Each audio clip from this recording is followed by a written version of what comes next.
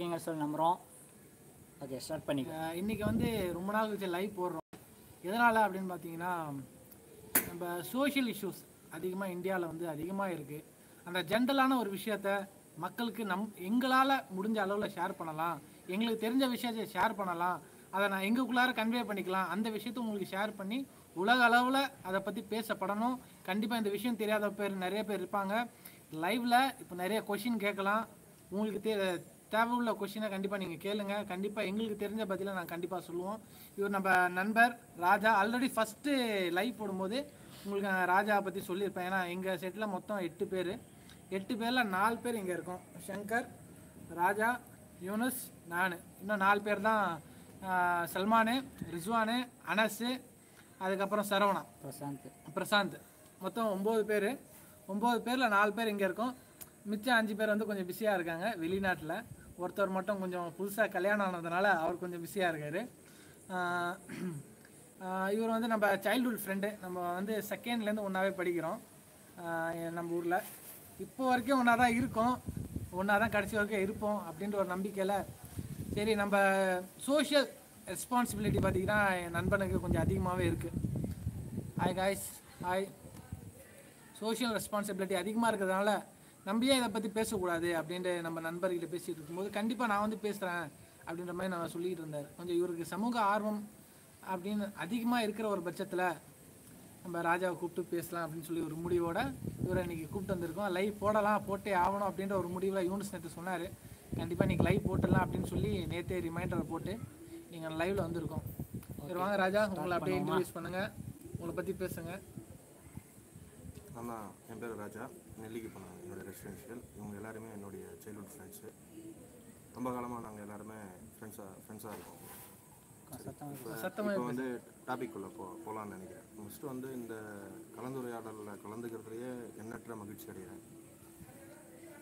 So சமீப காலமாக பார்க்க போனோம்னா நம்மளுடைய நான் படித்த காலத்தில் இருந்தே விவசாயம் தான் நம்ம நாட்டுடைய முதுகெலும்புன்னு சொல்கிறாங்க உண்மைதான். அது விவசாயம் இல்லாத ஒரு ஒரு உல ஒரு எதையுமே யாராலையுமே உருவாக்க முடியாது. விவசாயம் இருந்தால் தான் எல்லாரையும் சாப்பிட முடியும். எல்லாருக்குமே உணவு கிடைக்கும் முத உணவு இருந்தால் தான் அதுக்கப்புறம் தான் மீதி எல்லாம் உணவை பேஸ் பண்ணி தான் மீதி எல்லாமே போயிட்டு இருக்கு அப்படி இருக்கிறப்ப நம்ம நாட்டில் எத்தனையோ விவசாயி கடன் வாங்கிட்டு அந்த கடனை சரியாக கட்ட முடியாமல் வங்கிகளால் டைட் பண்ண ரொம்ப சவுண்டாக பேசுங்க வங்கிகளால் ரொம்ப க டைட் பண்ணப்பட்டு அந்த ட- அந்த டைட்னால பல பல விவசாயிகள் உயிரிழந்திருக்காங்க.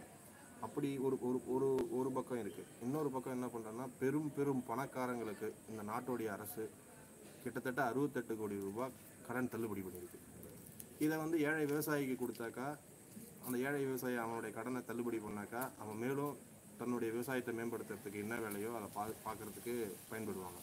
இதுக்கு நடுவில் விவசாயம் நிறைய தவறு செய்கிறாங்க என்ன மாதிரியான தவறு விவசாயி செய்கிறாங்க அப்படின்னு சொன்னால் ஒரு எக்ஸாம்பிளுக்கு சொல்கிறேன் இப்போ எங்கள் ஊர் நெல்லிக்குப்போம் இங்கே கிட்டத்தட்ட நாற்பத்தி ரெண்டாயிரம் கிட்ட பாப்புலேஷன்ஸ் இருக்குது விவசாய நிலம்னு பார்த்தீங்கன்னா கிட்டத்தட்ட ஒரு ஐயாயிரம் ஏக்கருக்கு மேலே விவசாய நிலம் இருக்குது எங்கள் மக்கள் என்ன பண்ணுறாங்க ஒரு ஏக்கரில் இந்த வருஷம் ஒரு விவசாயி பச்சை மிளகா நடுறாருன்னு வச்சுக்கோம் அந்த விவசாயி பச்சை மிளகா நடுறப்ப அந்த வருஷம் வந்து பச்சை மிளகாவுடைய காஸ்ட் வந்து ரொம்ப அதிக விலைக்கு விற்கிது உடனே அதை பார்த்துட்டு இருக்கிற எல்லாருமே உடனே பச்சை மிளகா நட்டுறது. இருக்கிற அந்த மூ ஐயாயிரம் ஏக்கர் நிலம் இருக்கு எங்கள்கிட்டனா மூவாயிரம் ஏக்கரில் பச்சை மிளகா நட்டுறது. பச்சை ஆட்டோமேட்டிக்காக பச்சை மிளகாவுடைய விலை வந்து வீழ்ச்சி அடைஞ்சு போகுது. வீழ்ச்சி அடைஞ்ச போது இதனால் விவசாயிக்கு பெருத்த நஷ்டம் வருது. இதை யார் ஒருங்கிணைக்கணும் அப்படின்னு பார்த்தீங்கன்னாக்கா இப்போ அந்தந்த பகுதியில் இருக்க விவோ விவோ இருக்கு இல்லையா? விவோ கிட்ட வந்து சர்வே பண்ணின லிஸ்ட் இருக்கும். எது நஞ்ச நிலம் எது புஞ்ச நிலம் என்ற லிஸ்ட் இருக்கும். அந்த விவசாயி நிலத்துல நீங்க இதை தான் உற்பத்தி பண்ணணும் அப்படின்னு சொல்லி அரசாங்கம் சட்டத்திட்டம் கொண்டு வரணும். அப்படி கொண்டு வந்து நமக்கு எவ்வளோ தேவையோ அந்த தேவைக்கு மேலே ஒரு பத்து பர்சன்டேஜ் பாஞ்சு பர்சன்டேஜ் மட்டும்தான் பொருட்களை மட்டும்தான் நம்ம உற்பத்தி பண்ணணும்.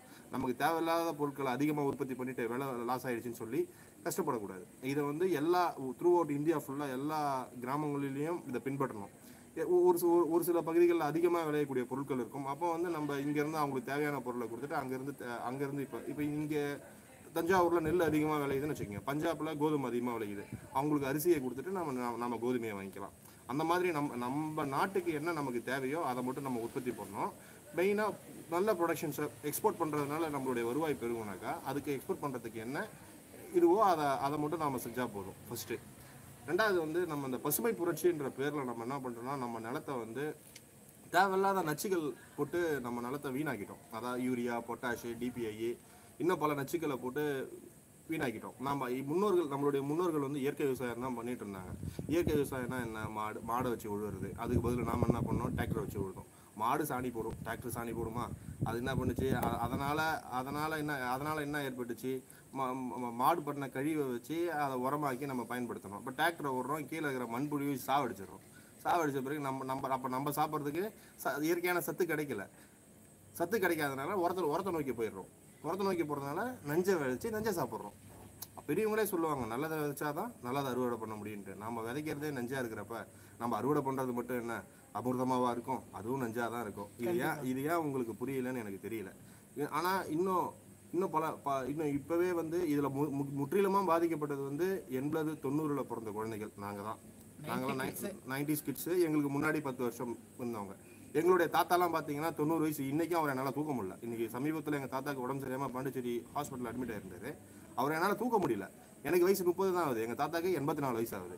அப்போ அவர் சாப்பிட்டுடைய உணவு உணவு உணவு பழக்க வழக்கம் என்னன்னு பார்த்தா கம்பு கேழ்வரகு திணை தென அரிசி வரகு நிறைய சொல்கிறாங்க குதிரை சம்பா அதெல்லாம் என்னன்னே தெரியல இப்போ இருக்க பசங்களுக்கு.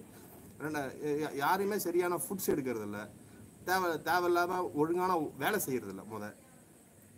சேரில் போகிறோம் வண்டியில் போகிறோம் உட்காடுறோம் அந்த சேர் ஒர்க் என்ன ஒர்க்கோ அதை பார்க்குறோம். திருப்பி ஏஞ்சி வண்டி எடுத்து நேராக வீட்டுக்கு வந்துடும் திருப்பி சாப்பிட்றோம் திருப்பி போகிறோம் இதுக்கு இதுக்கு இதுக்கு முப்பது வயசுல வாக்கிங் போகிற நிலைமைக்கு இப்பயே உருவாயிட்டோம்.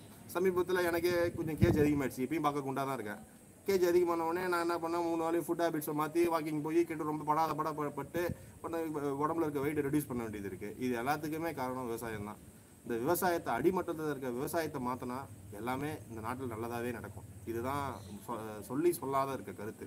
இது ஒரு பக்கம் இந்த விவசாய தானிய வகைகளை பார்த்தீங்கன்னா இன்னொரு பக்கம் பழ வகைகளில். பழ வகைகளில் ஸ்ப்ரே அடிக்கிறேன்றாங்க கல் வச்சு பழுக்க வைக்கிறேன்றாங்க கல கலரை மாத்திரன்றாங்க என்னென்னமோ பண்ணுறேன்றாங்க எதை தான் நாங்கள் சாப்பிட்றது? நச்சு இல்லாத பொருள் எங்கே இருக்குது அப்படின்னு தேடி போனாக்கா அந்த பொருள் அந்த பொருளை விளைவி அந்த தேடி போனாக்கா அதுக்கு விடையே இல்லை. இதுக்கு காரணம் நம்ம தான் அடிப்படையில் எல்லாத்தையுமே மாற்றணும் கவர்மெண்ட் சிஸ்டமேட்டிக் கொண்டு வரணும். கொண்டு வந்து ஒவ்வொரு நிலத்துலையும் நீங்கள் இதை பயிர் வைங்க. இது உங்களுக்கு நிலம் இருக்கா? நீங்கள் நெல் தான் உங்கள் நிலத்துல விளைய வைக்கணும். நீங்கள் வாழை தான் அந்த நிலத்துல விளைய வைக்கணும்.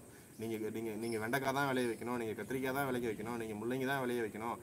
இப்போ மலை பிரதேசத்தில் நீங்கள் கேரட் தான் விளைய வைக்கணும். அந்த மாதிரி அந்த மாதிரியான சூழ்நிலையை அரசாங்கம் உருவாக்கி அரசாங்கம் கொண்டு வரணும். ரெண்டாவது இது எல்லாத்துக்கும் மேலே விவசாய ஒருங்கிணைப்பை உருவாக்கி விவசாயி உற்பத்தி பண்ணுற பொருளுக்கு விவசாயி விர விலையை வந்து நிர்ணயம் பண்ணணும். எங் எங்கேயோ இருக்கவங்க யாரோ ஒருத்தவங்க போயிட்டு ஒரு பொருளுக்கு சிமெண்ட்டுக்கு யார் உற்பத்தி பண்ணுறா சிமெண்ட் ஆலகாரங்க பூரா ஒன்றா சேர்ந்து சிமெண்ட்டுக்கு விலையை உற்பத்தி பண்ணுறாங்க கம்பிக்கு யார் விலையை நிர்ணயம் பண்ணுறா கம்பி ஆலகாரம் எல்லாம் சேர்ந்து கம்பி விலையை நிர்ணயம் உல- உலக மார்க்கெட்டை பார்த்து கம்பி விலை நிர்ணயம் பண்ணுறாங்க ஆனால் விவசாயத்தோட பொருளை மட்டும் யாரோ எங்கேயோ எங்கேயோ விலை நிர்ணயம் பண்ணுறீங்க என்ன என்ன களை எடுத்தான் என்ன பயிர் நட்டான் என்ன தண்ணி விட்டான்ற கணக்கு அவனுக்கு தான் தெரியும். அவன் பொருளுக்கு நீங்கள் ஏன் விலை நிர்ணயிக்க விலையை விலையை நிர்ணயிக்கிறீங்க? ஒரு நிமிஷம் ஒரு நிமிஷம். அப்போ கவர்மெண்ட் சொல்றது தப்புன்னு சொல்றீங்களான்னு கேக்குறாங்க. கவர்மெண்ட் சொல்றது தப்புன்னு சொல்ல கவர்மெண்ட்ல அடிப்படை சிஸ்டத்தை மாற்றணும் அப்படின்றது மட்டும்தான் நம்மளுடைய மெயின் கான்செப்ட் அரசாங்கத்தோட கல்லீரல் அது பாதிக்கப்படும் போது இப்போ நம்ம நம்மளுடைய உடம்புல இருக்க கல்லீரல் பாதிக்கப்படும் போது நம்ம போய் ஹாஸ்பிட்டலில் காட்டுறோம் இல்லையா? அப்போ அதே மாதிரி விவசாயிக்கு விவசாயத்தில் ஒரு பிரச்சனைனா அதை யார் சரி பண்ணணும்? நம்ம நம்மள ஆள்றவங்க தான் சரி பண்ணணும். இப்போ நமக்கு ஒரு பிரச்சனை இப்போ எனக்கு என் நான் இப்போ கோமா ஸ்டேஜில் இருக்கேன்னு வச்சுக்கோங்க. என்னுடைய பிரெயின் செயல் இருந்துட்டா நான் கோமா ஸ்டேஜுக்கு போயிடுவேன். அப்போ பிரெயின் தான் எனக்கு முதலமைச்சர். அதுக்கப்புறம் தான் கை இப்போ கை இருக்குது கை கை க- கை கை இப்போ இருக்கிறதுனால கை வந்து தொழில்துறை அமைச்சர்னு வச்சுக்கோங்க. கையால் தான் நான் வேலை செய்கிறேன் கால் இருக்குது டிரான்ஸ்போர்ட் கால் இருக்கிறதுனால தான் என்னோட போக்குவரத்து போய் வர முடியுது. கண் இருக்குது கல்வி.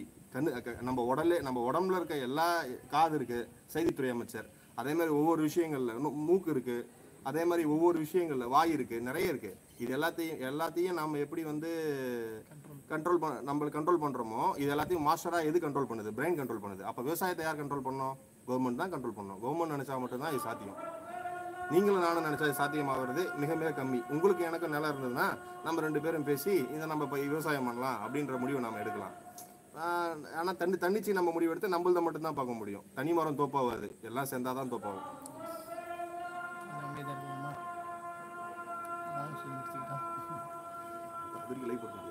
அப்படியே தான் லைவ்ல தான். அப்ப என்ன பண்ணுவாங்க அப்படியே அமைதியாக ஏன் அமைதியா இருக்கீங்க அப்போ அக்ரிகல்ச்சர்ல என்ன பண்ணலாம்? கொஞ்சம் இந்த அதான் சொல்லி முடிக்கிறோம் முடிச்சதுக்கப்புறம் கொஷின் ஆன்சர் சொல்கிறோம் ஏதாவது க்ளூ சொல்லுங்க. அப்போ அக்ரிகல்ச்சர்ல என்ன பண்ணலாம்? ஏதாவது க்ளூ சொல்லுங்க. இது யார் கேட்குறா நம்ம பசங்க ஜேம்ஸ் கேமரான்னு ஒருத்தர் கேட்குறாரு என்ன ஐடியா கண்டிப்பாக சொல்கிறேன் ஒரு ரெண்டு நிமிஷம்.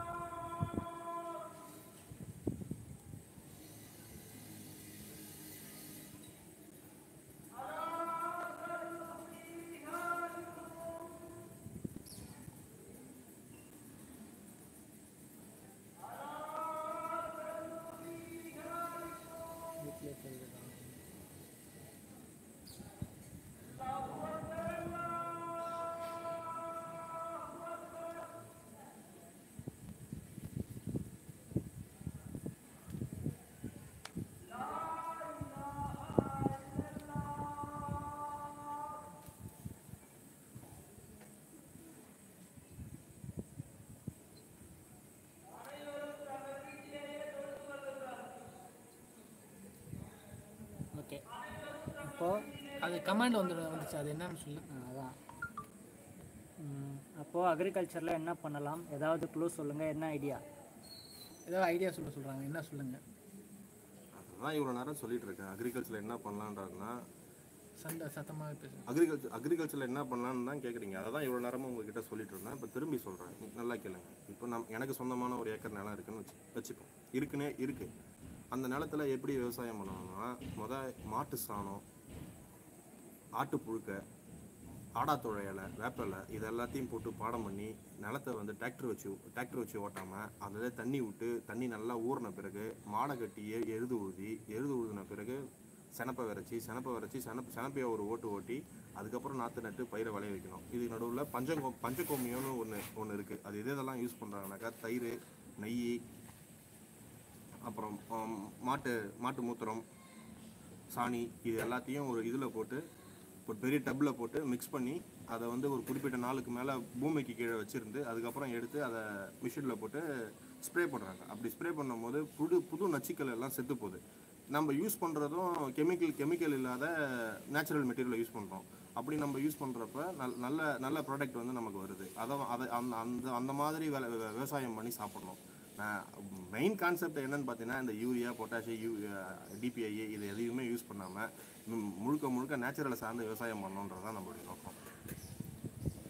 ப்ரோ ப்ரோ அப்போது எல்லாரும் அக்ரிகல்ச்சர் பண்ணணும்னு சொல்கிறீங்களா அப்படின்னு கேட்குறாங்க அப்படி அப் எல்லாரும் அக்ரிகல்ச்சர் பண்ணணும்னு நான் சொல்லலை. யார் யார் யா சாப்பாடு சாப்பிட்றாங்களோ?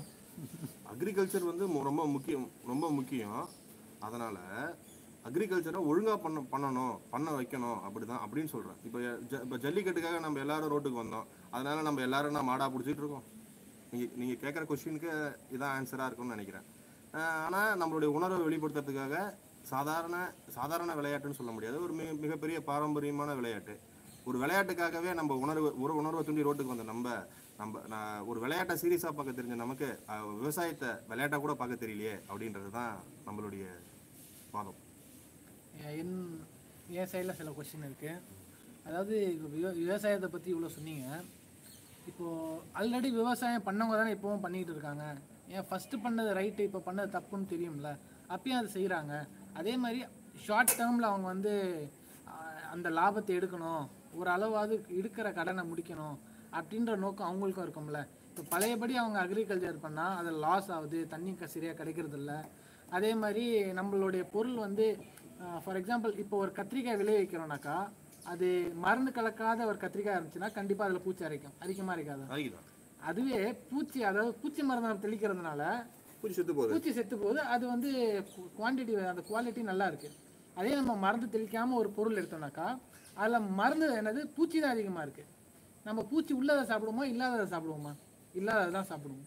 அப்படியே அவங்க வந்து அக்ரிகல்ச்சர் சைட்லேருந்து இப்படி சொல்கிறாங்க இப்படி சொல்லும்போது உங்களுடைய கருத்து என்னவா இருக்கும்? காட்டுங்க நல்ல நல்ல கேள்வி தான் அதாவது என்ன சொல்றேன்னா பூச்சி நல்லா இருக்கிற கத்திரிக்காவை பூச்சியே பூச்சே சாப்பிடல. அப்புறம் எப்படி நீங்க சாப்பிட்றீங்க? இப்போ பூச்சியே சாப்பிடாத கத்திரிக்காயை மனுஷன் நாம சாப்பிட்றோம்.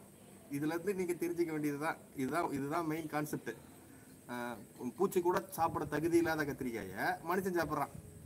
இதுதான் நம்மளுடைய நிலைமை. இவருக்கு நான் ஒரு கொஸ்டின் கேட்டிருந்தாரு. இன்னொரு இதுக்கு முன்னாடி.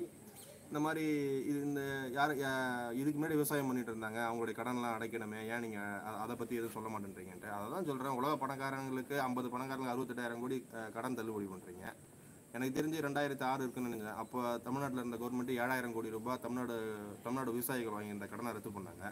இந்த அறுபத்தெட்டாயிரம் கோடியில் ஏழு ஸ்டேட்டு கடனை அடைச்சிடலாம். அப்படி பார்த்தீங்கன்னா அந்த கான்செப்ட் அந்த கான்செப்ட் போட்டிங்கனாக்கா கணச்ச கட கடனை அடைச்சிட்டு விவசாயம் பூரா புது புதுமையை நோக்கி போக சொல்லி அந்த ப ப பசுமை புரட்சி திட்டத்தை எடுத்துட்டு இயற்கை விவசாயம் பண்ணுங்க. உங்கள் பொருளுக்கு நீங்கள் விலை விலை நிர்ணயம் பண்ணுங்க. நியாயமான வேலையாக கொடுங்க. மக்களுக்கு வந்து சாப்பிட்றதுக்கு நல்ல நல்ல உணவு கொடுங்க. அப்படின்னு அரசாங்கம் சொல்லுமே ஆனால் நம்மளுடைய நம்மளுடைய உடம்புல நோய் எதிர்ப்பு சக்தி அதிகமாக இருக்கும்.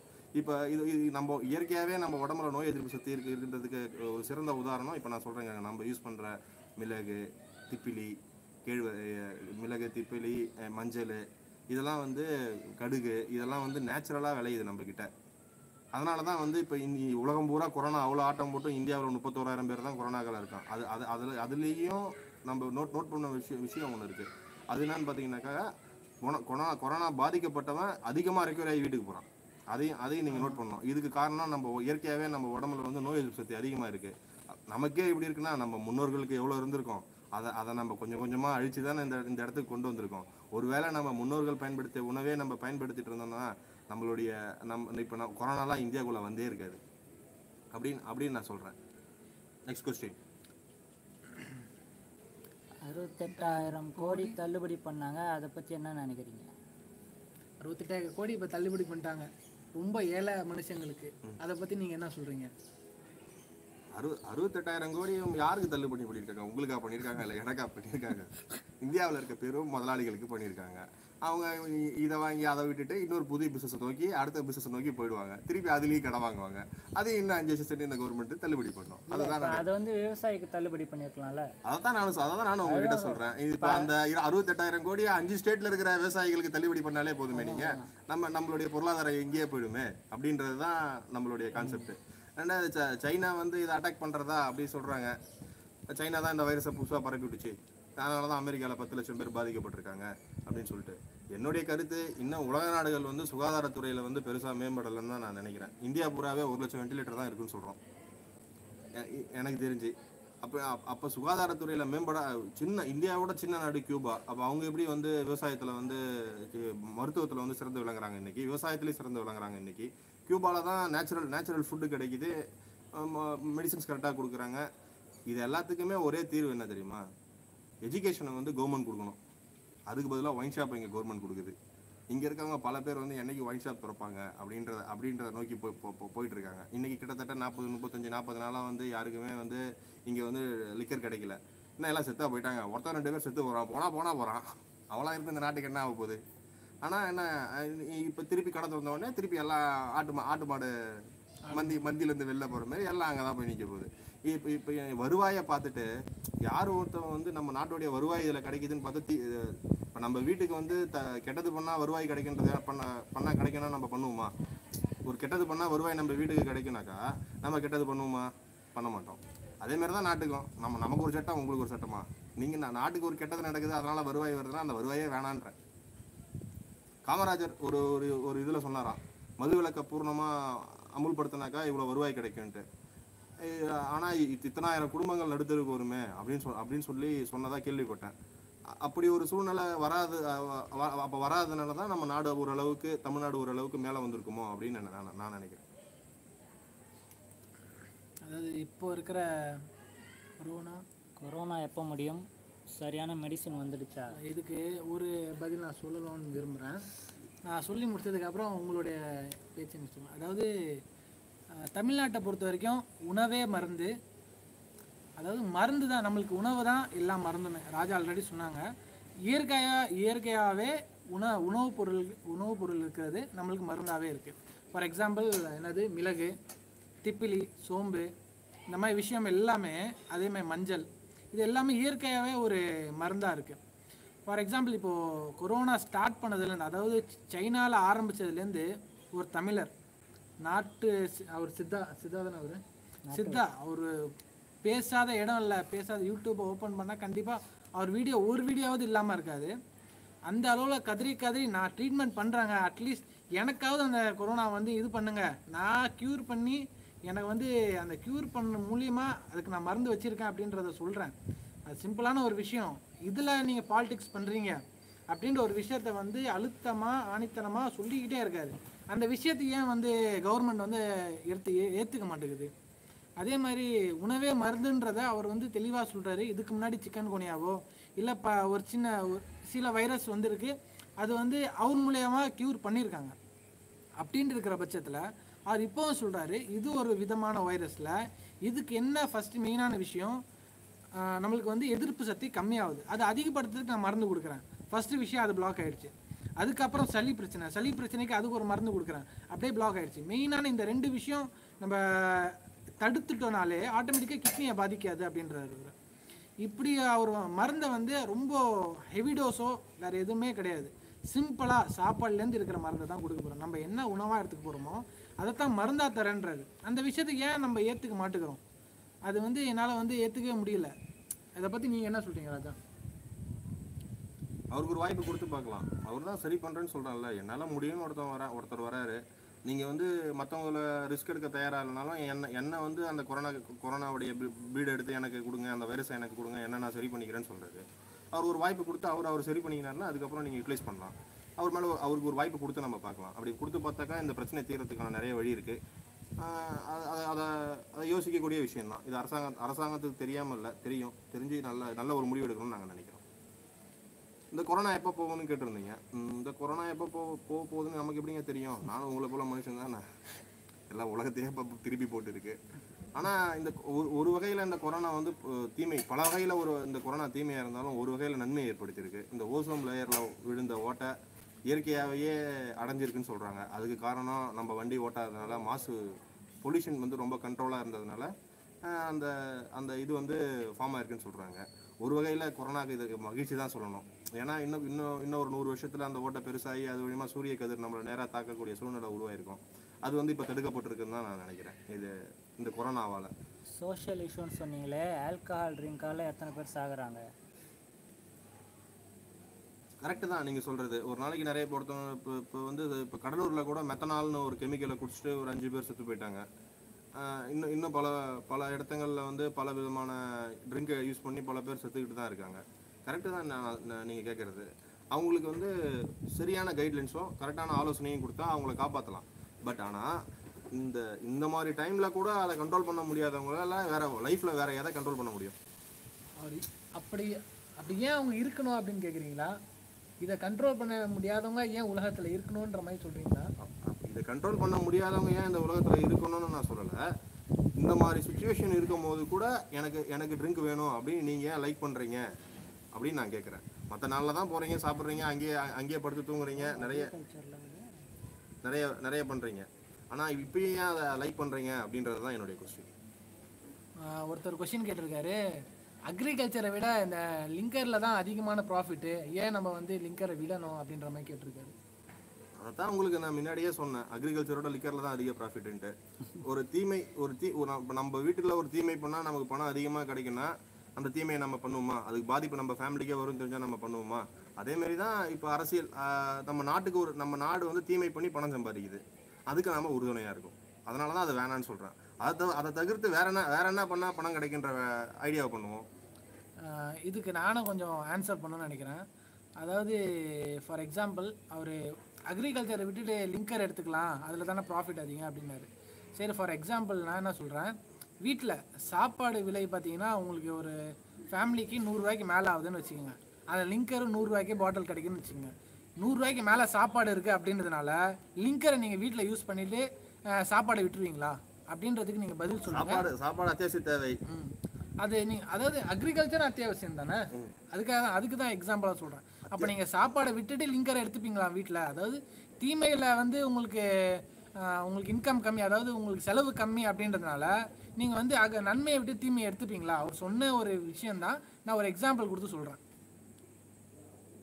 இப்போ ஒரு வீட்டில் வந்து அக்ரிகல்ச்சர் இருந்தால் எல்லாருமே சாப்பிட்லாம். லிக்கர் இருந்தால் எல்லாருமே சாப்பிட முடியுமா? உங்களுடைய குழந்தைக்கு நீங்களே தருவீங்களா? அது அப்போ அது உங்களுக்கு தப்புன்னு தெரியுதுல்ல. தப்புன்னு தெரியறதுனால தானே உங்களுடைய குழந்தைக்கு நீங்கள் தர மாட்டீங்க அப்போ அப்போ அப்போ அப்போ அதே அதுவே இப்போ ஒரு பிஸ்கட் பாக்கெட்டாக இருந்தால் டக்குன்னு உங்கள் குழந்தைக்கு எடுத்து நீங்களே வாயில வைக்கிறீங்கல்ல? அதனால தான் விவசாயம் வேணும்னு சொல்கிறேன் மது மது வேணான்னு சொல்கிறேன் கரெக்ட் தான் அதாவது இந்த இடத்துல ஒரு ஒரே ஒரு விஷயத்த சொல்லணும்னு நினைக்கிறேன். உங்களுக்கு வந்தாலும் ரத்தம் தான் எங்களுக்கு வந்தாலும் ரத்தம் தான். அது எதுவுமே எப்பவுமே அது தக்காளி சட்னியே ஆகாது. சரிங்களா? யாரா கேட்டிருக்காரு? அது ஒருத்தர் கேட்டிருக்காரு. ஜேம்ஸ் என்ன அடுத்த காலத்து கொஷின் அடுத்தது எதை பற்றி பேசலாம்? எவ்வளோ இருக்குது பேசுறதுக்கு? கொஞ்சம் கொஷின் கேட்டிங்கன்னா கண்டிப்பாக ஆன்சர் பண்ண கொஞ்சம் நல்லா இருக்கும். வசதியாக இருக்கும். வசதியாக இருக்கும். இந்த இடத்துல வந்து ஒரு விஷயத்த எடுத்து வைக்கணும் அப்படின்னு நினைக்கிறேன். இந்த கொரோனாவில் இது இப்போ வந்து லேபர் சைல்டு லேபர் சைல்டை பற்றி என்ன சொல்கிறீங்க அப்படின்னு கேட்குறேன் எஜுகேஷன் கொடுக்கணும் மக்களுக்கு. மக்களுக்கு எஜுகேஷன் கொடுத்தா லேபர் சைல்ட்லாம் ஏன் வராங்க? Free education free education government கொடுத்துச்சுனாக்கா labour child ஏன் உற்பத்தி ஆக போகுது? லேபர் சைல்டு இல்லாமலே போயிடும். ஆனால் அந்த பசங்க படித்து அவங்களுடைய அவங்களுடைய இன்ஃப்ராஸ்ட்ரக்சரை அவங்க பார்த்துக்க போகிறாங்க லேபர் சைல்டு இதை நான் பதில் சொல்லலாமா ம் சொல்லு. லேபர் சைல்டை பொறுத்து ஃப்ரீ எஜுகேஷன் ராஜா சொன்ன மாதிரி ஃப்ரீ எஜுகேஷன் இருந்தால் நம்ம நம்ம ஊரில் வந்து சாப்பாடு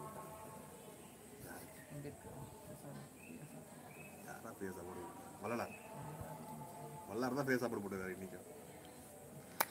அதாவது ஃப்ரீ எஜுகேஷன் கொடுத்த மாதிரி நம்ம இந்தியன் கவர்மெண்ட்டை பொறுத்து இந்தியன் கவர்மெண்ட்றதை விட தமிழ்நாட்டு கவர்மெண்ட்டில் நம்மளுக்கு உணவு ஃபஸ்ட்டு கொடுக்க சத்துணவு, திட்டம் வந்து வந்துச்சு. காமராஜருடைய ஆட்சி காலத்தில் எம்ஜிஆர். சத்துணவு வந்து இன்னமும் பின்பற்றிட்டு இருக்காங்க. அதில் வந்து நிறைய குறைபாடுகள் இருக்கு. அந்த குறைபாடு ப்ளஸ் எல்லாத்தையும் இவர் சொல்லுவார். குறைபாடுகளும் இருக்கு. நீங்க நீங்க இப்போ சொன்னீங்களே லேபர் சைல்டு லேபர் சைல்டை பத்தி ஒரு சின்ன கதை சொல்றேன். அதை மட்டும் நல்லா கேளுங்க. சத்தமாக சொல்லு லேபர் சைல்டு நீங்க கேட்டீங்களே லேபர் சைல்டு லேபர் சைல்டை பத்தி ஒரு சின்ன கதை சொல்றேன். கேளுங்க. இது நான் ஒரு ஒரு புக்கில் படித்த கதை தான். காமராஜர் வந்து தன்னுடைய சொந்த ஊருக்கு காரில் போயிட்டுருக்காராம். அப்படி காரில் போயிட்டுருக்கப்ப சின்ன சின்ன பசங்கள்லாம் வந்து மாடு மேய்ச்சிட்டு இருந்தாங்க. காரை நிறுத்திட்டு அந்த பசங்க எல்லாரையும் கூட்டாராம் கிட்ட வந்தாங்களா அந்த பசங்க. கிட்ட வந்த உடனே ஏன்டா பள்ளிக்கூடத்துக்கு போகாமல் எல்லாம் மாடு மேய்ச்சி நிற்கிறீங்க ஏன் பள்ளிக்கூடத்துக்கு போலையா அப்படின்னு. பள்ளிக்கூடத்துக்கு போனால் நீயா சோறு போடுவ? அப்படின்னு அவன் கேட்டானாம். பக்கத்தில் இருந்த அதிகாரிலாம் அவரை அந்த பசங்களை பார்த்து விரட்டி அடிக்கிறானா இரியா நல்லா தானே கேட்குறான். இது கம்முன்னு இரு. சோறு போட்டால் பள்ளிக்கூடத்துக்கு போவியான்னு கேட்டாராம். போவான்னாராம். நேராக அங்கேருந்து கிளம்பி சென்னைக்கு செக்ரட்டரியேட்டுக்கு வந்து ஃபினான்ஸ் மினிஸ்டரை கூப்பிட்டு இதுக்கு சாத்தியம் இருக்கா பாருங்கன்னாராம். அந்த ஃபினான்ஸ் மினிஸ்டர் வந்து பார்த்துட்டு இதுக்கு சாத்தியம் இல்லைன்னு சொன்னாராம். வேறு எதை வேணாலும் குறைங்க. சத்துணவு உணவு திட்டத்தை மதிய உணவு திட்டத்தை அமுல்படுத்துங்க. அமுல்படுத்தினா தான் பசங்க படிக்க வருவாங்க. படிக்க வந்தால் தான் நாடு மேம்படும். அதனால் நீங்கள் வந்து பசங்களுக்கு சாப்பாடு போட்டு ப படிக்கிறதுக்கு வழி உண்டு பண்ணுங்கள் அப்படி பண்ண பிறகு தான் நம்மளுடைய நம்ம தமிழ்நாட்டில் வந்து அதிக பேர் படிக்க ஆரம்பிச்சாங்க. நிறைய பேர் படிச்சுட்டு இன்னைக்கு நிறைய கவர்மெண்ட் ஜாப்லையும் இருக்காங்க. அனாஸ் கேட்டிருக்காரு. இந்த அனாஸே எப்போ தான் ஜி லாக்டவுன் ஓவர் அகைன் முன்னாடியே சொல்லிட்டேன்டா. லாக்டவுன் எப்போ ஓவர் ஆகும் நீங்கள் எங்களை கேட்டீங்க. இது எங்களை கேட்க வேண்டிய இது வந்து நீங்க மோடியை தான் கேட்கணும். ஃபோன் நம்பர் இருந்தா வேணா அவர்கிட்ட வேணா கேளுங்க. எப்போ இந்த லாக்டவுன் ஓவர் கண்ட்ரோல் ரூமுக்கு கால் பண்ணுங்க. ஆல்மோஸ்ட் இப்போ இப்போ இப்போ பார்த்தீங்கன்னாக்கா இப்போ நம்ம தமிழ்நாட்டில் நம்ம நம்ம டிஸ்ட்ரிக்ட் எடுத்துப்போம். நம்ம கடலூர் டிஸ்ட்ரிக்ட்ல கிட்டத்தட்ட டுவெண்ட்டி செவன் இருந்துச்சு. அதில் ஆல்மோஸ்ட் டுவெண்ட்டி ரெக்கவர் ஆகி வீட்டுக்கு போயிட்டாங்க. செவன் இருக்காங்க. இப்போ தான் நம்ம ரெட்லேருந்து ஆரஞ்சுக்கே வந்திருக்கோம். இந்த ஆறுலேருந்து க்ரீன் வந்தால் தான் நமக்கு ரிலாக்ஸேஷன் கிடைக்கும். அப்போ கூட டிஸ்ட்ரிக்ட்குள்ளே தான் போக முடியும். வெளியில் போக முடியாது. இதே மாதிரி ஒவ்வொரு இடத்துலையும் வந்து கு- குறைஞ்சாதான் நம்ம வெளியில் போகிறதுக்கான பாசிபிலிட்டிஸ் அதிகமாக இருக்குது நெக்ஸ்ட் நீயே கேட்டு சொல்லு ராஜா மோடி கிட்ட நீங்களே கேட்டு சரி நான் இதை கேட்டுட்டு அடுத்த லைவ் சொல்லுவோம். அடுத்த லைவ் வரும்போது உங்களுக்கு கண்டிப்பா இதை வந்து நான் உங்ககிட்ட சொல்றேன். அந்த இதை பற்றி கதையை சொல்லிட்டியா? என்ன கதை? ஆஹ் சத்துணவு. பண்ணிட்டாண்டி ஆஹ் அது அதில் ஒரு குறை நிறைகள் இருக்குது அப்படின்ற மாதிரி நான் சொல்லியிருந்தேன். சத்துணவு திட்டத்தில். உணவுலாம் ஹைஜீனிக்காக இருக்கா அப்படின்ற ஒரு விஷயம் பார்த்தீங்கன்னா சில இடத்துல ஹைஜீனிக்காக இருக்குது சில இடத்துல சுத்தம் இல்லாமல் இருக்குது அப்படின்றத நான் கண்ணால் பார்த்துருக்கேன். அதுக்கப்புறம் இன்னொரு விஷயம் பார்த்தீங்கன்னா அங்கேயே சில அதிகாரிகள் வந்து அந்த சாப்பாடையே பிளாக்ல எடுத்து விற்கிற நிலமையில் இப்போ தள்ளப்பட்டிருக்கு. நிறைய பசங்களுக்கு சாப்பாடு சேர்றதில்ல. அதே மாதிரி சுத்தம் இல்லாதனால நிறைய பசங்க சாப்பிட்றதும் இல்லை. அதுதான் என்னுடைய என்னுடைய தரப்புலேருந்து அது குறை நிறை அப்படின்னு சொல்லலாம். அதுக்கப்புறம் லாக்டவுன் வந்து அனஸ் முகமது அனஸ் கேட்டிருந்தார். லாக்டவுன் எப்போ முடியும் ஆல்மோஸ்ட் பார்த்தீங்கன்னா ஆகஸ்ட் செப்டம்பர் இந்த வருஷத்துக்குள்ளார கண்டிப்பாக எல்லாம் முடிஞ்சிடும் அப்படின்ற ஒரு நம்பிக்கை இருக்குது நீங்கள் ஊருக்கு வரணும்னு நினச்சிங்கனாக்கா டூ தௌசண்ட் டுவெண்ட்டி ஒன்னில் வாங்க. நிம்மதியாக வாங்க சந்தோஷமாக வாங்க சந்தோஷமாக வந்துட்டு போங்க ஓகே வேற என்ன நினைக்கிறேன். வேறு எதாவது இருக்கா? இருக்கு. அஹ் எனக்கு சில கொஷின் இருக்குது கேட்கலாமா கேளு. இப்போ அக்ரிகல்ச்சர் நம்ம பண்ணணும் அப்படின்ட்டு இருந்தால் ஒரு நிலத்தை எடுத்து வாங்கி பண்ணோம்னாக்கா அதில் என்னென்ன ப்ராசஸ் இருக்குது ஏன்னா இப்போது ஜென்ரலாகவே ஃப்ளாட்டு மக்கள் வந்து விவசாயம் பண்ண முடியாமல் என்ன பண்ணிடுறாங்க? அதை வந்து முடியல அப்படின்னு சொல்லி அதை ஃப்ளாட்டு போட்டு வித்துறாங்க இல்லைன்னா ஃப்ளாட்டாகவே கொடுத்துட்றாங்க. அது சில பேர் வந்து அந்த விவசாயத்தை மதிக்கிறவங்க அதாவது விவசாயத்தை பண்ணுறாங்க சில பேர் விவசாயத்தை பண்ணி அந்த இடத்துல தண்ணி கிடைக்கலையோ அதுக்கேற்ற மாதிரி சரியான ஃபெசிலிட்டி இல்லாத பட்சத்தில் அதை அப்படியே விட்டுறாங்க. இப்போ நம்ம திரும்பி அந்த இடத்துல விவசாயம் பண்ணணும்னு நினச்சா பண்ண முடியுமா? அப்படி அந்த ஆல்ரெடி நீங்கள் சொன்ன மாதிரி நம்ம மாடு ஓட்டுறதில்ல டிராக்டர் ஓட்டி புழுவெல்லாம் சாவடிச்சிடுறோம் அப்படின்னு சொன்னீங்க. இந்த மாதிரி இப்போ ஃபுல்லாத்தையும் சாவடிச்சிட்டோம் இப்போ சாவடிச்ச நிலத்துல திரும்ப நம்ம நிலத்தை உளுந்து திரும்ப விவசாயத்தை பண்ணலாமா? பண்ண முடியும். பாசிபிலிட்டிஸ் இருக்குது இன்றைக்கெல்லாம் லேப்டாப் முன்னாடி உட்காந்துருக்கோம் நாளைக்கு எல்லாம் மம்டி தான் பிடிக்க போகிறோம் அதுதான் நிச்சயமாக நடக்க போகுது. இந்த இன்னும் இன்னும் இருபது இன்னும் ஒரு இருபது இருபத்தஞ்சி வருஷத்தில் அதிகபட்சம் நான் சொல்கிறது ரொம்ப அதிகம். யார் ஒருத்தர் வந்து ஒரு ஏக்கர் நிலம் வச்சிருக்கான்னா அவன் அவன் தான் இந்த நாட்டில் மிகப்பெரிய பணக்காரனாக இருப்பான். ஏன்னா அவன் அவன் அவனால் மட்டும்தான் உணவை வந்து உற்பத்தி பண்ண முடியும். அப்படி உற்பத்தி பண்ணுற அப்படி உற்பத்தி பண்ணக்கூடிய உணவு உணவு வந்து அவன் தான் அவன் தான் வேலை நிர்ணயம் பண்ணுறவனாக இருப்பான். இன்னைக்கு இன்னைக்கு அது ப- பண்றதுக்கு நிறைய ஆர்கனைசேஷன் வந்துருச்சு. இய- இயற்கை விவசாயத்துக்கு திரும்புறதுக்கு நிறைய பேர் பண்ணிட்டு இருக்காங்க. அவங்களுடைய கைட்லைன்ஸோட யூடியூப்ல பார்த்தாலே உங்களுக்கே தெரியும். நம்ம அவங்களோட கைட்லைன்ஸோட நம்மளும் அதை அதை பண்றதுக்கு முயற்சி எடுக்கலாம். நிறைய நிறைய வழிகள் இருக்கு. கரப்ஷன் அதை பற்றி ஏதாவது பேசலாமா? கரப்ஷனை பற்றி உங்களுக்கு தெரிஞ்ச சில தகவலை நீங்கள் சொல்லுங்கள் கரப்ஷன் அதுக்கும் ஒரு குட்டி கதை வச்சிருக்கேன். அது வந்து அது வந்து நம்ம மக்களாக நினைக்காத நினச்சி அதுக்கு ஒரு முடிவு கட்டாத வரைக்கும் அது நடந்துக்கிட்டு தான் இருக்கும். அதை யாராலையும் தடுக்க முடியாது. எல்லாருமே க- க- இன்னைய இன்றைய காலகட்டத்தில் கரப்ஷன் இல்லாத இடமே எதுவுமே இல்லை அப்படின்னு தான் சொல்ல முடியும். என்னென்னா நம்ம நாட்டை சேர்ந்த ஒருத்தர் வெளிநாட்டுக்கு டூர் போயிருந்தாராம். அப்படி டூர் போயிருந்தப்ப அங்கே இருந்த அந்த நாட்டு அந்த நாட்டை சேர்ந்த மினிஸ்டர் வந்து என்னுடைய வீடு எப்படி இருக்குன்னு கேட்டாராம். நல்லா இருக்கு. அப்படின்னு சொன்னாராம். உடனே விண்டோவை திறந்தாங்களாம். திறந்தோடனே அங்கே ஒரு தூரத்தில் ஒரு பாலம் ஒன்று வச்சாங்க அந்த பாலம் கட்டுறதுக்கு கவர்மெண்ட் ஃபண்டு ஒதுக்கின கமிஷனில் தான் அந்த வீடை கட்டினேன் அப்படின்னு சொல்லி அந்த நாட்டு மினிஸ்டர் சொன்னாராம் அவர் நம்ம நாட்டுக்கு வந்தாராம் நம்ம நாட்டு மினிஸ்டரோட வீட்டுக்கு வந்தாராம் வீட்டுக்கு வந்தவொடனே உங்கள் வீடு நல்லா கட்டியிருக்கீங்க அழகாக இருக்குது சூப்பராக இருக்குது அப்படின்னு சொன்னாராம் உடனே இவரும் ஜன்னல் திறந்து பார்த்தாராம் இந்த வீடு எப்படி கட்டினீங்கன்னு கேட்டாராம் இல்லை அது ஒரு பாலம் திறந்து பாருங்கள் அந்த பாலத்தை அந்த பாலம் கட்டின அந்த கம் ஃபண்டில் தான் நானும் இந்த வீடை கட்டினேன்னு சொன்னாராம் அங்கே பாலமே தெரியலையே. இல்லை அப்படி ஒரு பாலம் வரப்போகிறதா சொல்லி தான் இந்த வீடே கட்டியிருக்கு. அப்படின்னு சொன்னாராம். இது ஒரு குட்டி கதை. அந்த மாதிரி தான் நம்ம நாட்டில் கரப்ஷன் இருக்குது இது இதை தட்டி கேட்கணும்னா உங்க உங்களை போல யங்ஸ்டர்ஸு நம்மளை போல யங்ஸ்டர்ஸ் மட்டும் மட்டும்தான் அது பாசிபிலிட்டிஸ் இருக்குது காசு கொடுத்தா தான் வேலை நடக்கணும் அப்பேற்பட்ட வேலை வேணான்னு சொல்லிட்டு வெளியில் வரணும் அப்படி எப்படி அப்போ எப்போ ஒவ்வொருத்தவங்களும் சொல்கிறாங்களோ அப்போ ஆட்டோமேட்டிக்காக கரப்ஷன் சரியாயிடும்.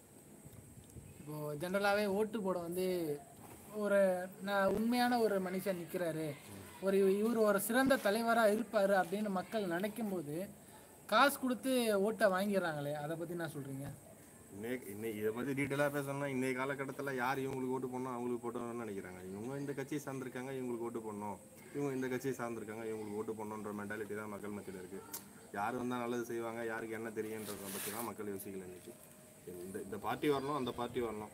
இதுக்கு இதுக்கு ஆப்போசிஷன் பார்ட்டி இது. இந்த பார்ட்டிக்கு ஓட்டு போடணும் இந்த சிம்பிளுக்கு ஓட்டு போடணுன்ற மக்கள் தான் இன்னும் இருக்காங்க. மாற்றி மாற்றி போடணுன்ற என் மென்டாலிட்டி இல்லை. ரெண்டாவது அப்படி அப்படிப்பட்ட ஆள் பப்ளிசிட்டி ஆக மாட்டார். அந்த தெருவிலே வேலை முடிஞ்சிடும் அதே காசு கொடுத்தீங்கன்னாக்கா எல்லா தெருவுக்கும் எல்லா தெருவிலையும் தெரியுது. இதுதான் பிரச்சனை. இது எல்லாத்துக்கும் இது எல்லாத்துக்கும் ஒரு முற்றுப்புள்ளி வைக்கணும்னா யங்ஸ்டர்ஸ் கையில் தான் இது இதுக்கும் வழி இப்போ யங்ஸ்டர்ஸ் வந்து மேக்ஸிமம் வராங்க. இப்போ புது கட்சிகள்லாம் வருது. கட்சி பேரை நான் விரும்பலை. புது கட்சிகள் வருது. அது ஏன் நம்ம மக்கள் வரவேற்க மாட்டேங்கிறாங்க?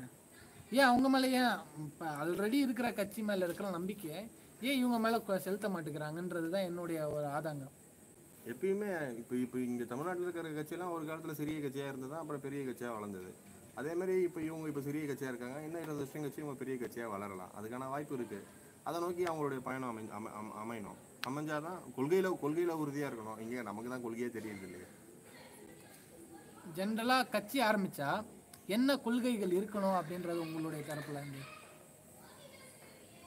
தரமான கல்வி தரமான மருத்துவம் யார் கொடுக்குறாங்களோ அவங்களுக்கு ஓட்டு போடலாம். இதை விட சிறந்த ஐடியா எதுவும் இருக்கிறதுக்கான வாய்ப்பு இல்லை. ஆனால் நல்ல சுகாதாரம் நல்ல கல்வி நல்ல விவசாயம் இதுதான் நாட்டை மேம்படுத்தும். அதுதான் உணவு நோய் இல்லாத உலகம் நோயற்ற வாழ்வே குறையற்ற செல்வம்னு சொல்லியிருக்காங்க. அதை நோக்கி நம்ம பயணம் பண்ணுறது தான் நமக்கு நல்லது. ஒரு ஜென்ரலான ஒரு அரசியல் தலைவர்னு சொல்லலாம். அவர் என்ன சொன்னார்னாக்கா விவசாயத்தை வந்து கவர்மெண்ட் ஜாபா ஜாப்ல சேர்க்கணும் அப்படின்ற ஒரு விஷயத்த சொல்லியிருந்தார். அவர் பேர் சொல்ல நான் விரும்பல. இந்த இதுக்கு உங்கள் தரப்புலேருந்து என்ன ஒரு இது ப்ளஸ்ன்றீங்களா மைனஸ்ன்றீங்களா இந்த விஷயத்த செய்யலாமா செய்யக்கூடாதா? அவர் சொன்ன விஷயம் வந்து ஒரு நல்ல ஒரு விஷயமா தான் எனக்கு தோணுச்சு. ஏன்னா விவசாயத்தை கவர்மெண்டில் கவர்மெண்ட் ஜாபு அப்படின்னு சொல்லி ஒதுக்கணும்னாக்கா மேக்ஸிமம் விவசாயம் ஏற்கனவே பண்ணி விட்டவங்களாம் கண்டிப்பாக திரும்பி விவசாயம் பண்ணணும்னு நினைப்பானே. அப்படின்றதுக்காக என்னுடைய தரப்புலேருந்து நான் கேட்குறேன். விவசாயத்தை கவர்மெண்ட் ஜாபாக ஆக்குறது வந்து சாத்தியக்கூறு ரொம்ப கம்மி. வேணா ஒன்று பண்ணலாம். இப்போ பண்ணிட்டு இருக்காங்க ஆல்ரெடி அது கவர்மெண்ட்டு இப்போ அந்த அதுக்கு தேவையான அந்த சீட்ஸ் விதைகள் எல்லாத்தையுமே கவர்மெண்ட் வந்து கொடுத்துட்ருக்கு கவர்மெண்ட் பண்ணைகள் வச்சு இப்போ எங்கள் ஊர் பக்கத்தில் பாலூரில் ஒரு விவசாய பண்ணை இருக்குது அந்த பண்ணையிலேருந்து தேவையான அனை எல்லா காய்கறிக்கான விதையும் அவங்க வச்சுருக்காங்க. அந்த மாதிரி தரமான விதையாக கொடுக்கணும். இயற்கையோடு சார்ந்த விதையாக கவர்மெண்ட் அரசாங்கம் மட்டும் கொடுத்தாலே போதும். அரசாங்கம் வந்து விவசாயம் பண்ணணுன்ற அவசியம் இல்லை. மக்களை வந்து விவசாயம் பண்ண அரசாங்கம் தூண்டணும் தூண்டுகோலாக இருக்கணும். அப்படி அப்படி பண்ணால் விவசாயம் நல்லாயிருக்கும் விவசாயம் மேம்படும். விவசாயிகளை காப்பாற்றணும் அது அப்படி பண்ணால் நல்லா நல்லா இருக்குன்றது என்னுடைய கருத்து. அந்த காலத்தில் வீட்டுக்கு வீடு ஒரு மிலிட்ரி இருக்கணும் அப்படின்ற மாதிரி சில ஏரியாக்களில் பேசப்பட்டு நான் கேள்விப்பட்டேன் எங்கள் தாத்தா சொல்லியிருக்காரு. அந்த பட்சத்தில் அதே மாதிரி இந்த காலத்தில் தமிழ்நாட்டை பொறுத்த வரைக்கும் நான் சொல்கிறேன் வீட்டுக்கு வீடு ஒரு விவசாயாவது இருக்கணும் அப்படின்ற ஒரு சூழல் வந்தால் நல்லா இருக்குமா? நிச்சயமாக அது நல்லா தான் இருக்கும். வீட்டுக்கு வீடு ஒரு விவசாயி வரணும்னா அவங்களுக்கு தேவையான இடம் இருக்கணும் இட வசதி இருக்கணும். வீட்டுக்கு வீடு வீட்டுக்கு வீட்டிலேயே விவசாயம் பண்ணலாங்க. வீட்டு மா மாடி இருக்கு இல்லையா? மாடியிலே விவசாயம் பண்ணலாம். அவங்களுக்கு வந்து அவங்கவுங்க வீட்டுக்கு தேவையான காய்கறி அத்தியாவசிய தேவைகள் என்ன இருக்கோ அதெல்லாம் அவங்களே விளைய வைக்கலாம். அது ஒரு பெரிய விஷயமே இல்லை. மொட்டை மாடியில் மொட்டை மாடியில் கூட விளைய வைக்கலாம். அது வீட்டுக்கு அது அதிலே வீட்டுக்கு வீடு ஒரு விவசாயத்தை உருவாக்குறதுக்கு நிறைய வழி இருக்குது இப்போ இங்கே இவ்வளோ பெரிய மாடி இருக்குது சும்மா தான் இருக்குது ஒரே ஒரு டேங்க் இருக்குது இங்கே கூட நம்ம விவசாயத்தை இங்கே கூட காய்கறியை வந்து மேலேயே விதை விதை விதைய வைக்கிறதுக்கான வழிகள் நிறைய இருக்குது அதெல்லாம் செய்யறதுனா தாராளமாக செய்யலாம். அதாவது ஆர்கானிக் அக்ரி ஓகே ஓகே நம்ம கான்செப்டே ஆர்கானிக் டிகிரி தான். இப்போ ஆர்கானிக் இப்போ வளர்ந்துக்கிட்டு வருது அப்படின்னு சொல்கிறீங்களா ம். நிச்சயமா ஆர்கானிக் வளர்ந்துட்டு இருக்கு. இப்போ தான் மக்கள் அதை பற்றியான விழிப்புணர்வுகள் நிறைய இருக்கு. ஆர்கானிக் வளர்ந்துட்டு தான் வருது. இந்த டிபேட்டு கூட்டாங்க டிபேட்டில் பேசிட்டு இருக்கோம். இன்னும் ஒரு தண்ணி பாட்டில் கூட இல்லை. இல்லை நான் போய் தண்ணி தண்ணி எடுத்துருவோம் ஜில்லுன்னு கேளு. அதுதான் ஜில்லுன்னு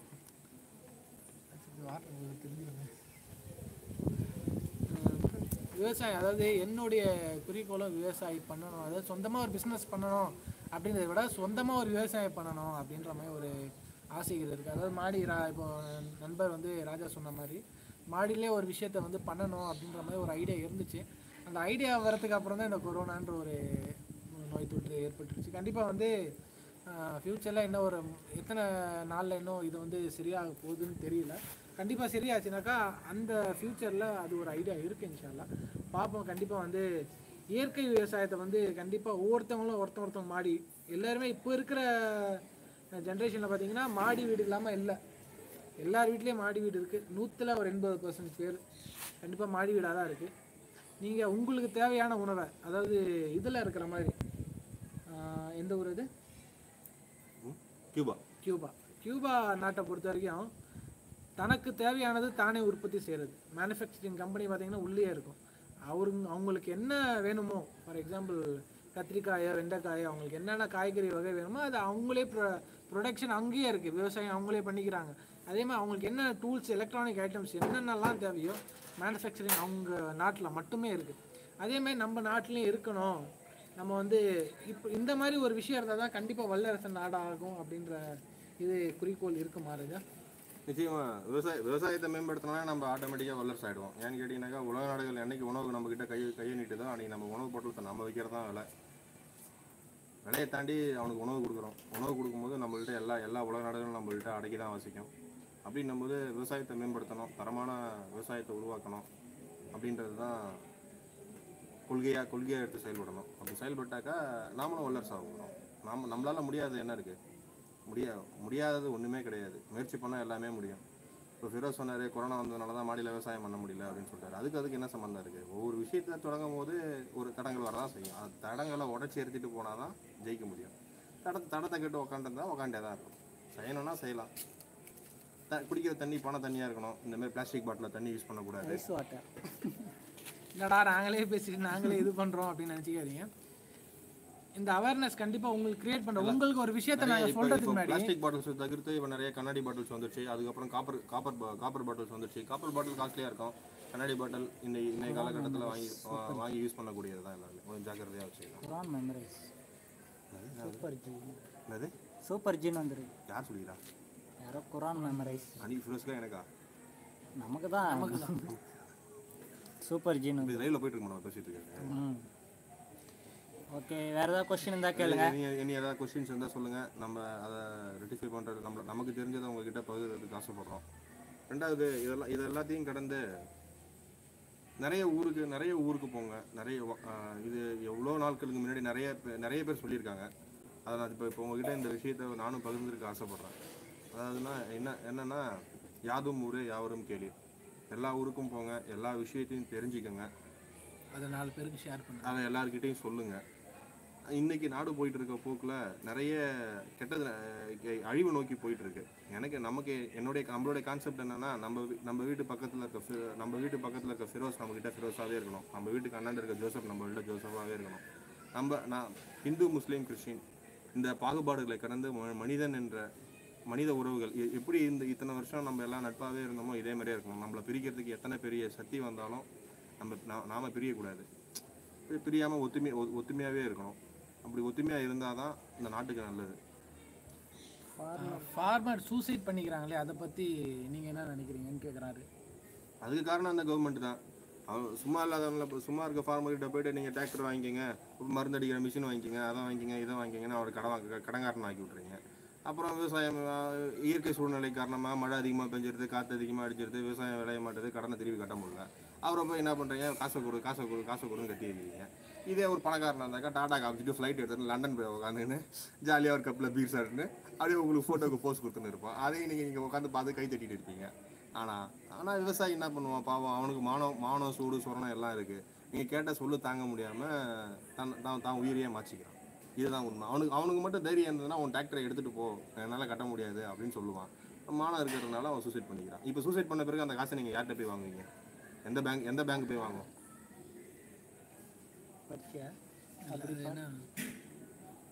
அப்படி பார்த்தா நீங்க தான் ரைஸ் ரேட் வைக்கிறீங்களா? ரைஸ் ரேட் நாங்க தான் வைக்கிறோமா? எனக்கு புரியலையே. அப்படி பார்த்தா நீங்க தான் ரை ரைஸ் ரேட் வைக்கிறீங்க. ரைஸோட ரேட் நாங்க தான் வைக்கிறோம் அப்படின்றாங்க. ரைஸோட ரேட் நாங்கள் வைக்கிறோமா அப்படின்னு கேட்டிருக்கீங்க.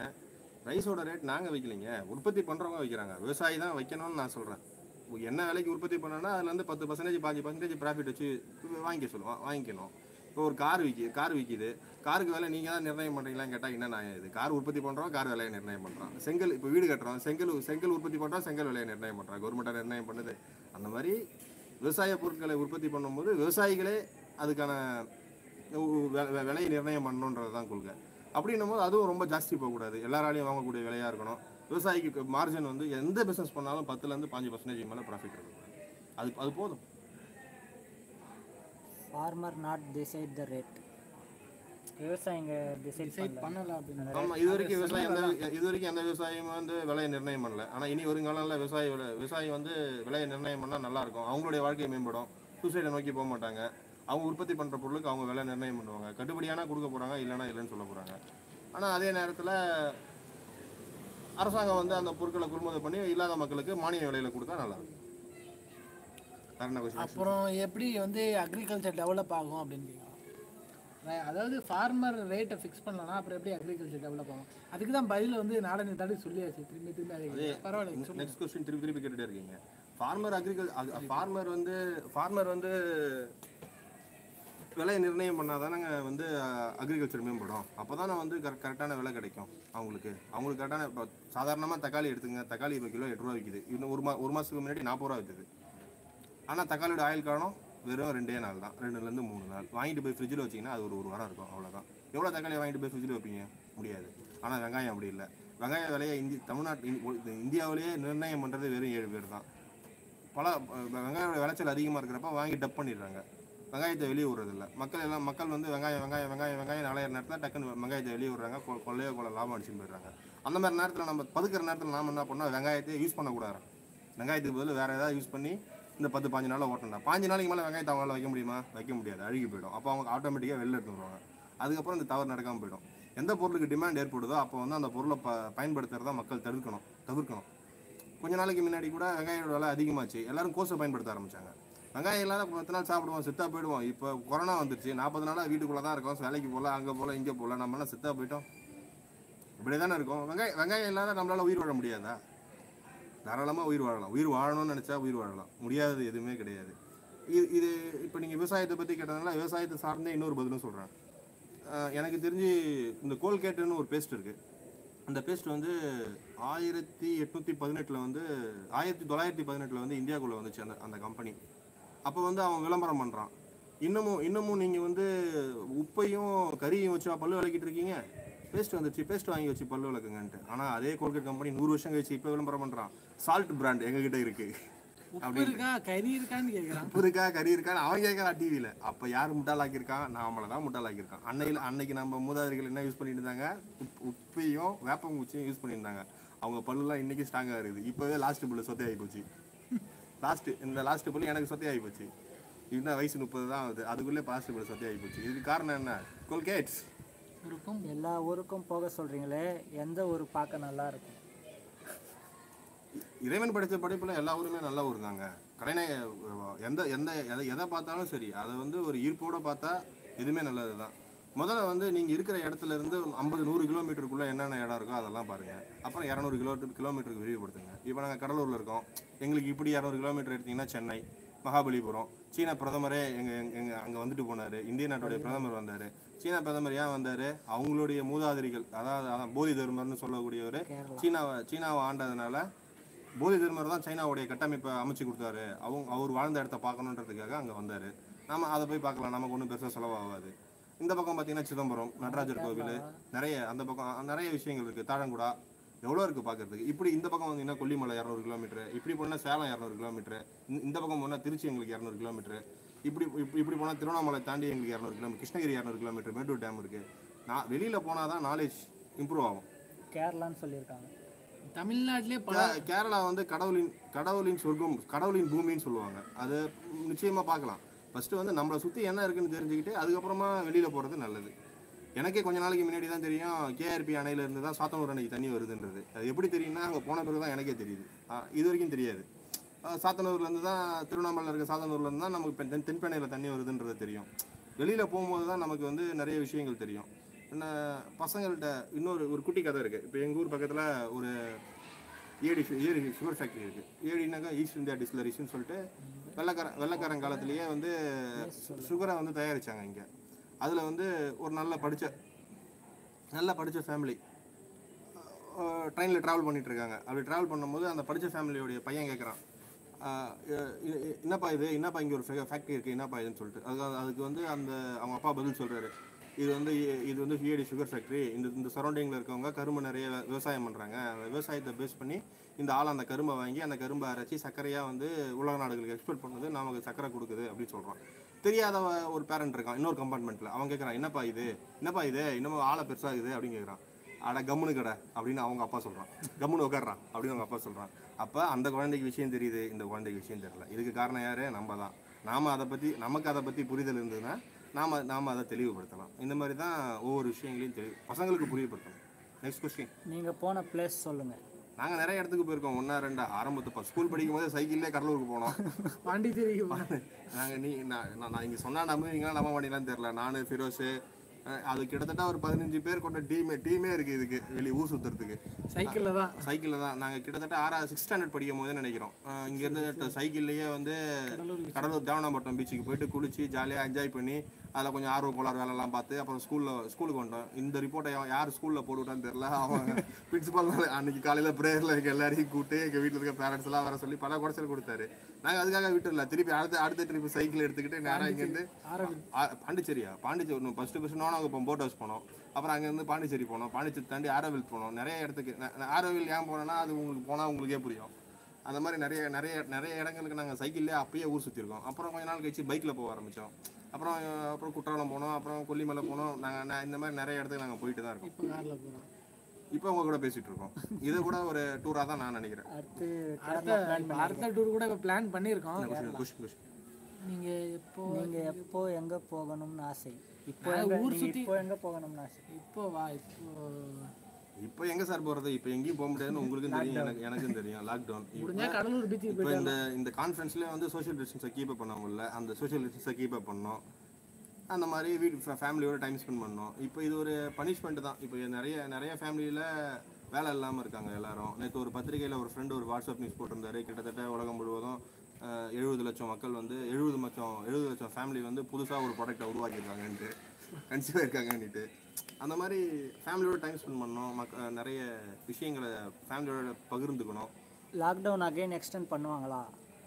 கொரோனா வாய்ப்பு இருக்கு. அதான் இப்போ பதினாலு நாள் போட்டிருக்காங்க. பதினேழாம் தேதி வரைக்கும் போட்டிருக்காங்க வாய்ப்பு பண்றது பண்றது ஒரு விதத்துல நல்லா ஒரு விதத்துல நல்லதுதான் வச்சுக்கோங்க. பல விதத்துல இப்ப நமக்கு சாப்பாட்டுக்கு இல்ல போல வரல அப்படின்னு சொன்னா கஷ்டம். நம்மள இப்ப நமக்கு கடவுளுடைய படைப்புல நமக்கு ஓரளவுக்கு இந்த பதினஞ்சு நாளை தாக்கக்கூடிய அளவுக்கு வாய்ப்புகள் இருக்கு. நாம வந்து இந்த நேரத்துல நாலு பேருக்கு யார் யாருக்கெல்லாம் யார் யாருக்கெல்லாம் இருக்கோ அவங்களாம் வந்து நாலு பேருக்கு உதவி பண்ணணும். முடிஞ்சா ஒரு நாளைக்கு ஒருத்தவங்களுக்கு உதவி பண்ணா போல போதும். அந்த உதவி வந்து முன்ன பின்ன தெரியாதவங்களுக்கா இருக்கணும்.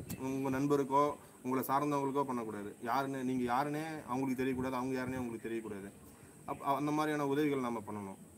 நான் அந்த மாதிரியான உதவிகள் பண்ணிட்டு தான் இருக்கேன். அது வந்து ஒரு சாதாரண பைக்கில் லிஃப்ட் கொடுக்குறதா கூட இருக்கலாம். இப்போ அன்னைக்கு ஒரு நாள் வெயில் அடிச்சிச்சு ரோட்டில் இது சொல்லக்கூடாது இருந்தாலும் சொல்கிறேன் ஒரு வயசான அம்மா இருந்தாங்க எல்லாம் மாஸ்க் போட்டு போயிருந்தாங்க அந்த அம்மா மாஸ்க் இல்லாமல் இருந்துச்சு. லிஃப்ட் கேட்குறாங்க கொடுத்ததா கொடுக்கணும். அதனால கொரோனா வரணும் வரட்டும் பார்த்துக்கலாம் கொல்லிமலைக்கு போங்கன்னு சொல்லியிருக்கீங்க. கொல்லிமலைக்கு ஆல்ரெடி நிறைய வாட்டி போயாச்சு. கொல்லிமலையிலே நிறைய இடம் இருக்கு. ஆமா இன்னும் பார்க்க இடம் நிறையா இருக்குது. யார் யார் கேட்குறாரு அடுத்தது ஒருத்தவங்க கேட்குறாங்க கொல்லிமலைக்கு போங்கன்னு கொல்லிமலைக்கு எந்த எந்த ஊருக்கு போனாலும் அந்த ஊரில் என்னென்ன இருக்குன்னு டாப் டு பாட்டம் எல்லாத்தையும் தெரிஞ்சுக்கணும். ஆ பார்த்தாச்சு பார்த்தாச்சு போகலாம் போகலாம் அப்படின்றத மாதிரிலாம் சொல்லக்கூடாது. டாப் டு பாட்டம் கொல்லிமலையில் நீ என்னென்ன இருக்குன்னு நீங்கள் சொல்ல சொல்ல முடியுமா உங்களால்?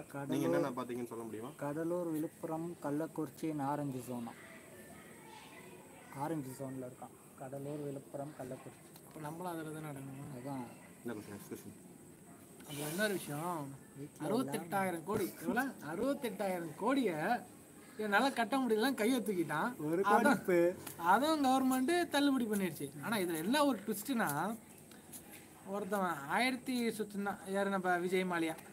அவர் ஆயிரத்தி சொச்சம் கோடி தான் கட்டணும் ஆனால் அவர் அவரை பற்றி மட்டுமே நம்ம பேசிட்டு இருந்தோம். ஆனால் இப்போ லிஸ்ட்டு ஒன்று கொடுத்தாங்க பாருங்க ஐம்பது பேரோட லிஸ்ட்டு நிறைய புள்ளிங்க அது உள்ள இருக்காங்க. அதுல நம்ம மாலியா பாத்தீங்கன்னா ஒரு பத்தாவது இடத்துக்கு மேல தான் இருக்கான். ஆனா அதுக்கு முன்னாடி இருக்காங்க பாரு. அதை பத்தி கவர்மெண்ட்டும் பேசல யாரும் பேசல. ஆனா அதை பத்தி இப்போ பேசணும்னு தோணுது. அது யார் யாரும் கொஞ்சம் சொன்னா முன்னாடி ஒரு கமெண்ட் ஒன்று வந்திருக்கு. I want to go to Kollimalai with you guys by bike ஆனால் பைக்கா? கண்டிப்பா போலாம். நீ ஃபர்ஸ்ட் ஊர் வந்து சேரு. நீங்கள் இருக்கிற இடத்துல ஆனால் நீங்கள் இருக்கிற இடத்துல இருந்து கொல்லிமலைக்கு பைக்கில் போக முடியாது. அதுக்கு முதல்ல நீங்கள் ஃப்ளைட்டில் ட்ராவல் பண்ணணும். Hello, ஃப்ளைட் விட்டால் தான் நீங்கள் ஃப்ளைட்டில் ட்ராவல் பண்ணி இந்தியா வந்து இந்தியாவிலேருந்து நெல்லிக்குப்பம் வந்து நெல்லிக்குப்பத்துலேருந்து கொல்லிமலைக்கு பைக்கில் போகிறதுக்கு நிறைய வாய்ப்பு இருக்குது சரவணா. அதனால நீங்க அதனால நீங்க பைக்ல தான் போக முடியும். இங்க வந்த பிறகு தான் பைக்ல போக முடியும். அது வரைக்கும் பைக்ல போக முடியாது. இப்போ நீங்க பைக்ல போனோம்னா உங்க பாவாட்ட சொல்லி உங்க பாவா பைக்கு கொடுத்தா கடல் மேல கடல் மேல ஒரு பிரிட்ஜ் கொடுத்து அந்த பிரிட்ஜ் மேல வந்தாதான் தான் விட்டு ட்ரெயின் இந்த அறுபத்தெட்டாயிரம் கோடி ஐம்பது பேர். அதனால விட்றேன் எவ்வளோ பட்ஜெட்டா பட்ஜெட்டா பட்ஜெட் இந்த ஃபாரின்லேருந்து வராங்கல்ல அதெல்லாம் அவங்க ஆமாம் அவங்க எடுத்துகிட்டு வருவாங்க. சரவணா அனாஸ் ரெண்டு பேரும். நீங்க வரும் நீங்க வரும்போது வெறும் எல்லாம் வந்தா போதும். உங்க வண்டிக்கு பெட்ரோல் போட்டா போதும். காலைல டிஃபன் சோரஸ் வாங்கி கொடுத்துரும் மதியம் சாப்பாடு பிரசனம் அப்புறம் பிரசாந்த் வாங்கி கொடுத்துரும் நைட் டிஃபன் அனாஸ் வாங்கி கொடுத்துரும் ரூ- ரூமுக்கு பதில் ரோட்லேயே படுத்துக்கலாம் ஒன்றும் பிரச்சனை இல்லை. கொல்லிமலை சுற்றி பார்த்துட்டு ஆகாய ஆகாய கங்கை நீர்வீழ்ச்சியில் குளிச்சுட்டு நம்ம ஊர் வந்து டேய் போதும்டா. டேய் டேய் போதும்டா. அனாஸ் அனாஸ் உனக்கு தெரியாது இல்லை. நீ பார்த்த ப்ராடக்ட் பல இங்க இருக்கு. சரி என்ன கொஸ்டின்டா நீ எதை கேட்டிருந்தீங்க. ஐம்பது பேர் வேணாமா அவனுக்கு வேறு ஓகே. ஓகே கைஸ் நெக்ஸ்ட்டு ஏ அண்ணா சார் ஊருக்கு வா ஃபஸ்ட்டு அப்புறமா பைக்கில் போகிறதுலாம் போகலாம் அதாவது டூர் ஆனால் கேரளா பிளான் பண்ணியிருக்கோம். கொல்லிமலை பார்க்கலாம். இல்லை ரிஸ்வானை விட்டு விடனாக்கா நாங்கள் அவனை விடல அவனை விட்டு ஓடிடுவோம் அது வேற விஷயம். அது வந்து அவர் விடுறதுக்காக விட்டு ஓடிடுவாரு. ஆமாம்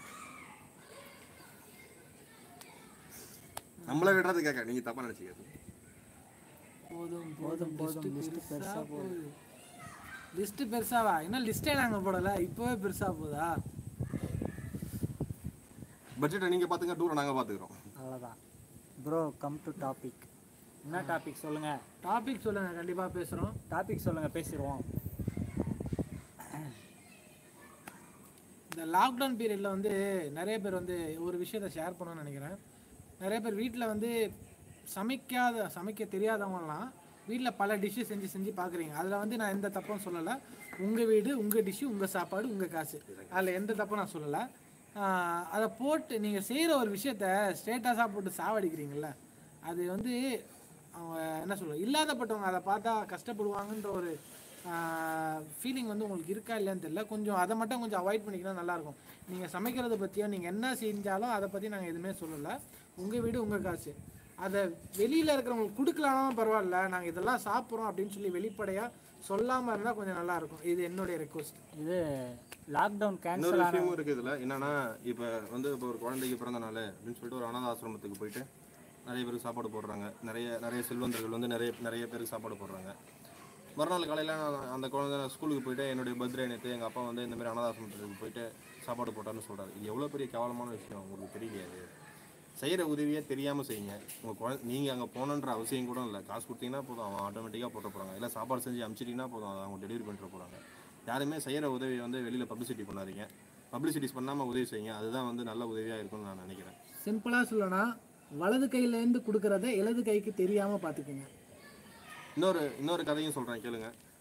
நான் இப்போ இப்போ எஜுகேஷன் நம்ம நாட்டில் எப்படி இருக்குது அப்படின்னு அப்படின்னு பார்த்தீங்கன்னாக்கா ஒரு அதுக்கு ஒரு குட்டி கதை இருக்குது அந்த கதையை சொல்கிறேன் அதாவது என்னென்னா இப்போ வந்து கெப்பாசிட்டின்னு ஒரு போர்டில் அந்த வார்த்தையை எழுதி அந்த கிளாஸ் ரூமில் இருக்க ஒரு பையனை எழுந்திரிச்சு அந்த வார்த்தையை படிக்க சொன்னால் அந்த பையன் கெப்பா குட்டின்னு படிக்கிறான். உடனே அந்த அந்த வந்திருக்க உடனே இன்ஸ்ட்ரக்ஷன் வராங்க. இன்ஸ்ட்ரக்ஷன் வந்தோடனே என்ன இந்த மாதிரி கெப்பாசிட்டின்னு எழுதியிருக்க வார்த்தையை அவன் கெப்பா குட்டின்னு படிக்கிறான். நீங்கள் இந்த மாதிரி நீங்கள் இந்த மாதிரி கம்முன்னு இருக்கீங்களே. சார் நானும் எவ்வளோ ட்ரை பண்ணி பார்த்துட்டேன். அவனு நான் கெப்பாசிட்டின்னு எதனா அவன் அப்படி தான் படிக்கிறான் இதை நீங்கள் வந்து இது இதை நீங்கள் வந்து இப்போ தயவு செய்து வந்து இதை வந்து அவன் கெப்பாசிட்டி அவனுடைய நான் என்ன தான் ட்ரெயின் பண்ணாலும் கெப்பாசிட்டியை வந்து அவனுக்கு சாரி தப்பாக சொல்லிட்டாங்க அந்த கதையை கதையை இப்போ முதல்ல இருந்து சொல்கிறேன் விஸ்கோசிட்டின்னு போர்டில் எழுதியிருக்கு. அந்த பையனை எழுந்திரிச்சு படிக்க சொல்கிறாங்க அவன் விஸ்கோ குட்டின்னு படிக்கிறான். உடனே அந்த மிஸ்ஸை கூட்டு என்ன அந்த பையன் இப்படி படிக்கிறான்? அப்படின்னு கேட்டாக்கா அந்த மிஸ்ஸு சொல்கிறாங்க சார் நான் எவ்வளோ ட்ரை பண்ணி பார்த்துட்டேன். அந்த பையன் அந்த பையனுக்கு வந்து அவனுடைய கெப்பா குட்டி அவ்வளோதான் என்னால் ஒன்றும் பண்ண முடியல. அப்படின்னு சொல்கிறாங்க உடனே அவருக்கு இன்ஸ்டியூஷன் வந்து அவருக்கு கோவம் உடனே அவர் பிரின்ஸ்பால் கிட்ட போகிறாரு என்ன அந்த பையன் இந்த மாதிரி விஸ்கோ சிட்டின் போர்டில் இருந்து அவன் விஸ்கோ குட்டின்னு படிக்கிறான்? அதை என்ன என்ன சொல்லி தரீங்க? அந்த மிஸ்ஸை வந்து கேட்டா கேட்டாக்கா அவனுடைய கபா குட்டி அவ்வளோதான் சொல்கிறாங்க நீங்கள் என்ன சொல்கிறீங்க பிரின்சிபல் சொல்கிறாங்க சார் நான் ரெண்டு பேருமே கூட ட்ரை பண்ணி பார்த்துட்டேன். எனக்கு அவங்களுக்கு அந்த வார்த்தை வரவே மாட்டேது. எங்கள் இந்த இந்த ஊரில் எங்கள் இந்த இந்த ஊர் இந்த இந்த இன்ஸ்டியூட் இந்த இன்ஸ்டியூட் வந்து பா- நல்லா நல்லா எஜுகேஷன் கொடுத்துட்ருக்கு தயவு செய்து நீங்கள் வெளில பப்ளிசிட்டி பண்ணிடாதீங்க அப்படின்னு சொல்கிறாங்க அதனால் அப்படி தான் இருக்குது நம்மளோட எஜுகேஷன் சிஸ்டம் அதனால் அந்த சிஸ்டத்தை கொஞ்சம் மாற்றி எல்லாருக்கும் ச சமமான எஜுகேஷன் கொடுத்தா எல்லாருமே நம்ம என்ன நீட்டுன நீ எதை போட்டாலும் எங்கள் ஆளுங்க அடிச்சு கடாசுவானுங்க. லாக்டவுன் கேன்சல் ஆன பிறகு ஃபஸ்ட்டு வெளியே போய் என்ன பண்ணணும்னு உங்களுக்கு ஆசை? லாக்டவுன் கேன்சல் ஆன பிறகு ஃபஸ்ட்டு வெளியில் போய் என்ன என்ன என்ன செய்ய போகிறீங்க என்ன செய்ய போகிற ஆசை இருக்குன்னு உங்களுக்கு கேட்குறீங்க இப்போவே தான் நம்ம தான் வெளியே போயிட்டு தானே இருக்கோம். காய்கறி வாங்க வண்டிக்கு பெட்ரோல் போட மெடிக்கல் ஷாப் போக நம்மளோட அன்றாட வாழ்க்கைக்கு திரும்ப போகிறோம் அவ்வளோதான் என்ன நம்ம ஃபேமிலியோட வெளியில் போக போகிறோம் அந்த அந்த அந்த சுதந்திரம் கிடைக்கும். இப்போ ஹிந்து வந்தால் கோயிலுக்கு கூட்டு போக போகிறான் முஸ்லீம் வந்தால் மசூதிக்கு போக போகிறான் கிறிஸ்டின் வந்தாக்க சண்டே சண்டே சர்ச்சுக்கு போக போகிறான் அவனுடைய ரொட்டீன் வாழ்க்கைக்கு அவன் அவங்கவுங்க போக போகிறாங்க அவ்வளோதான் நடக்க போகுது. மற்றபடி பெருசாக ஒன்றும் நம்ம போய் அங்கே ஒன்றும் பண்ணிட போகிறது இல்லை. ஏன்னா அதுக்கு அடுத்தமா அதுக்கு அடுத்த கட்டமாக ஆஃபீஸ் போவோம். நம்மளுடைய வேலைகளை பார்க்க ஆரம்பிப்போம். நம்ம இந்த மூணு மாசமா நமக்கு ரெவன்யூ ரெவன்யூ எதுவும் இல்லை. சேவிங்ஸ் எதுவும் செலவு பண்ணிட்டு இருக்கோம். அடுத்து அடுத்து அந்த சேவிங்ஸ் எப்படி திருப்பி கொண்டு போய் வைக்கிறதுன்றத பிளான் பண்ணுவோம். அவ்வளோதான் இதுக்கப்புறம் ஹாஸ்பிட்டல் போக வேண்டியது இருக்கும் செக்கப்புக்கு உங்களுக்கு பிடிச்ச லீடர் யாருன்னு கேட்டுதான் பிடிச்ச தலைவர். எனக்கு பிடிச்ச தலைவர் அப்துல் கலாம். Okay super. அடுத்து அடுத்து. ட்ரிங்க்ஸ் சார் தப்புமா? அதாவது ஆல்கஹால் வேணாம் அப்படின்றது தான் ஃபர்ஸ்ட் பேசணும். ட்ரிங்கை பற்றி பேசுறாரு. போய் ஃபர்ஸ்ட் எங்களுக்கு பிடிச்ச ட்ரிங்க் என்னன்னு பார்த்தீங்கன்னாக்கா இப்போ இருக்க சூழ்நிலை ஜில்லுன்னு ரஸ்னா குடிச்சா நல்லா இருக்குல்ல ரோஸ் மில்க் வருது. ரோஸ் மில்க் ஜில்லுன்னு தண்ணி இருக்கு ஆஹ் எனக்கு பிடிச்ச லீடர் யாரும் கேட்டிருந்தாங்க. அதுக்கு முன்னாடி எனக்கு காகித மில்லத்தை ரொம்ப பிடிக்கும். அதுக்கப்புறம் அப்துல் கலாம் ரொம்ப பிடிக்கும். ஏன்னு கேட்டிங்கனாக்கா இவங்க ரெண்டு பேருமே மதம் மதம் சார்ந்து என்றைக்குமே பேசுனது கிடையாது. காகித மில்லை இந்தியாவோட லாங்குவேஜ் எதா எதா வைக்கணும்னு கேட்டப்ப ஹிந்தியை ஹிந்தியை சூஸ் பண்ணாமல் அவர் தமிழை சூஸ் பண்ணார் காகித மில்லுக்கு ஏன் சூஸ் பண்ணீங்க? நீங்கள் ஒரு முஸ்லீமாக இருக்கீங்க நீங்கள் போயிட்டு ஹிந்தி ஹிந்தியை சொல்லாமல் நீங்கள் போயிட்டு தமிழை சொல்கிறீங்களே அப்படின்னு கேட்டாங்க. அவர் அதுக்கு அவர் சொன்ன பதில் தான் எனக்கு அவர் அவர் பிடிச்ச அவர் ரொம்ப பிடிக்கிறதுக்கான காரணம். அவர் அப்படி என்ன சொன்னாருனாக்கா நான் அல்லா அல்லாஹ் என்று அழைப்பதற்கு முன்னால் அம்மா என்று அழைத்தவன் நான் தமிழன். அதனால் தமிழ் தமிழை தமிழை முதலில் நேசிக்கின்றேன் அப்படின்னு என்று சொன்னார். அதனால் அவர் ரொம்ப பிடிக்கும். அதே மாதிரி அப்துல் கலாம். அப்துல் கலாம் என்ன பண்ணார்? நீங்கள் அப்துல் கலாம் உங்களுக்கு உங்களுக்கு உங்களுக்கு தெரியாததில்லை பல பல பல ஹிந்துஸ் பல கிறிஸ்டின்ஸ் பல முஸ்லீம்ஸ் வீட்டில் ஃபோட்டோஸ் அப்துல் கலாமுடைய ஃபோட்டோஸ் இருக்குது அப்துல் கலாம் யாரும் முஸ்லீமாக பாவிக்கல. காரணம் என்னன்னு கேட்டிங்கனாக்கா நிறைய ஒன்றும் இல்லை ரெண்டு இல்லை நிறைய சொல்லலாம். அமெரி அமெரிக்கா கண்ணிலேயே மண்ணை தூவிட்டு பொக்ரான் பொ- பொக்ரான் அணுகுண்டு சோ- சோதனை நடத்த நடத்தினதாக இருக்கட்டும். வேலூருக்கும் கிருஷ்ணகிரிக்கும் தண்ணி எடுத்துன்னு போக முடியாதுன்னு கவர்மெண்ட் அன்னைய காமராஜ் கவர்மெண்ட் சொன்னப்ப அது தண்ணி எடுத்துன்னு போக முடியும். சாத்தியம் சாத்தியம் பண்ணி முடிச்சதாக ஆகட்டும். திருப்பதி கோயிலுக்கு போனப்ப யார் பேர்ல அர்ச்சனை பண்ணட்டான்னு கேட்டப்ப இந்தியான்ற பேர்ல அர்ச்சனை பண்ணணும் பண்ண பண்ணணும்னு சொன்னதாகட்டும். இதே மாதிரி அப்துல் கலாம் பேரை அடிக்கிட்டே போகலாம் அப்துல் கலாம் மட்டும் பிரசிடென்ட் ஆன ஆனதுக்கப்புறம் ஒரு கட்சி ஆரம்பிச்சிருந்தாருன்னா அதுக்கு இந்தியாவில் இந்தியா லாவில் அதுக்கு இடம் இல்லை. பிரசிடென்ட் ஆன பிறகு யாரும் எந்த ஒரு பொறுப்புக்கும் வர முடியாது. அப்துல் கலாம் ஒரு கட்சி ஆரம்பிச்சிருந்தாருன்னா நிச்சயமா அவருடைய கட்சி தான் பிரைம் மினிஸ்டராக இந்த இந்தியாவில் இருந்திருக்கும். அதில் அதில் எந்த விதமான மாற்று கருத்தும் இல்லை. பல இளைஞர்கள் அப்துல் கலாம் அப்துல் கலாம் பின்னாடி திரண்டு இருப்பாங்க அருமையா பேசுறீங்க அதாவது என்னதான் இளைஞரை திரட்டி அவர் கொண்டு போனாலும் கடைசியில் ஓட்டு போடுற டைம்ல மக்களோட மனநிலை மாறிடுது. அதுக்கு என்ன சொல்றீங்க? இதுக்கு இதுக்கு முழுக்க முழுக்க காரணம் என்னன்னு கேட்டீங்கன்னாக்கா அவங்க வந்து ஒரே சிம்பிளுக்கு ஓட்டு போட்டு ஓட்டு போட்டு ஓட்டு போட்டு பழகி போயிட்டாங்க.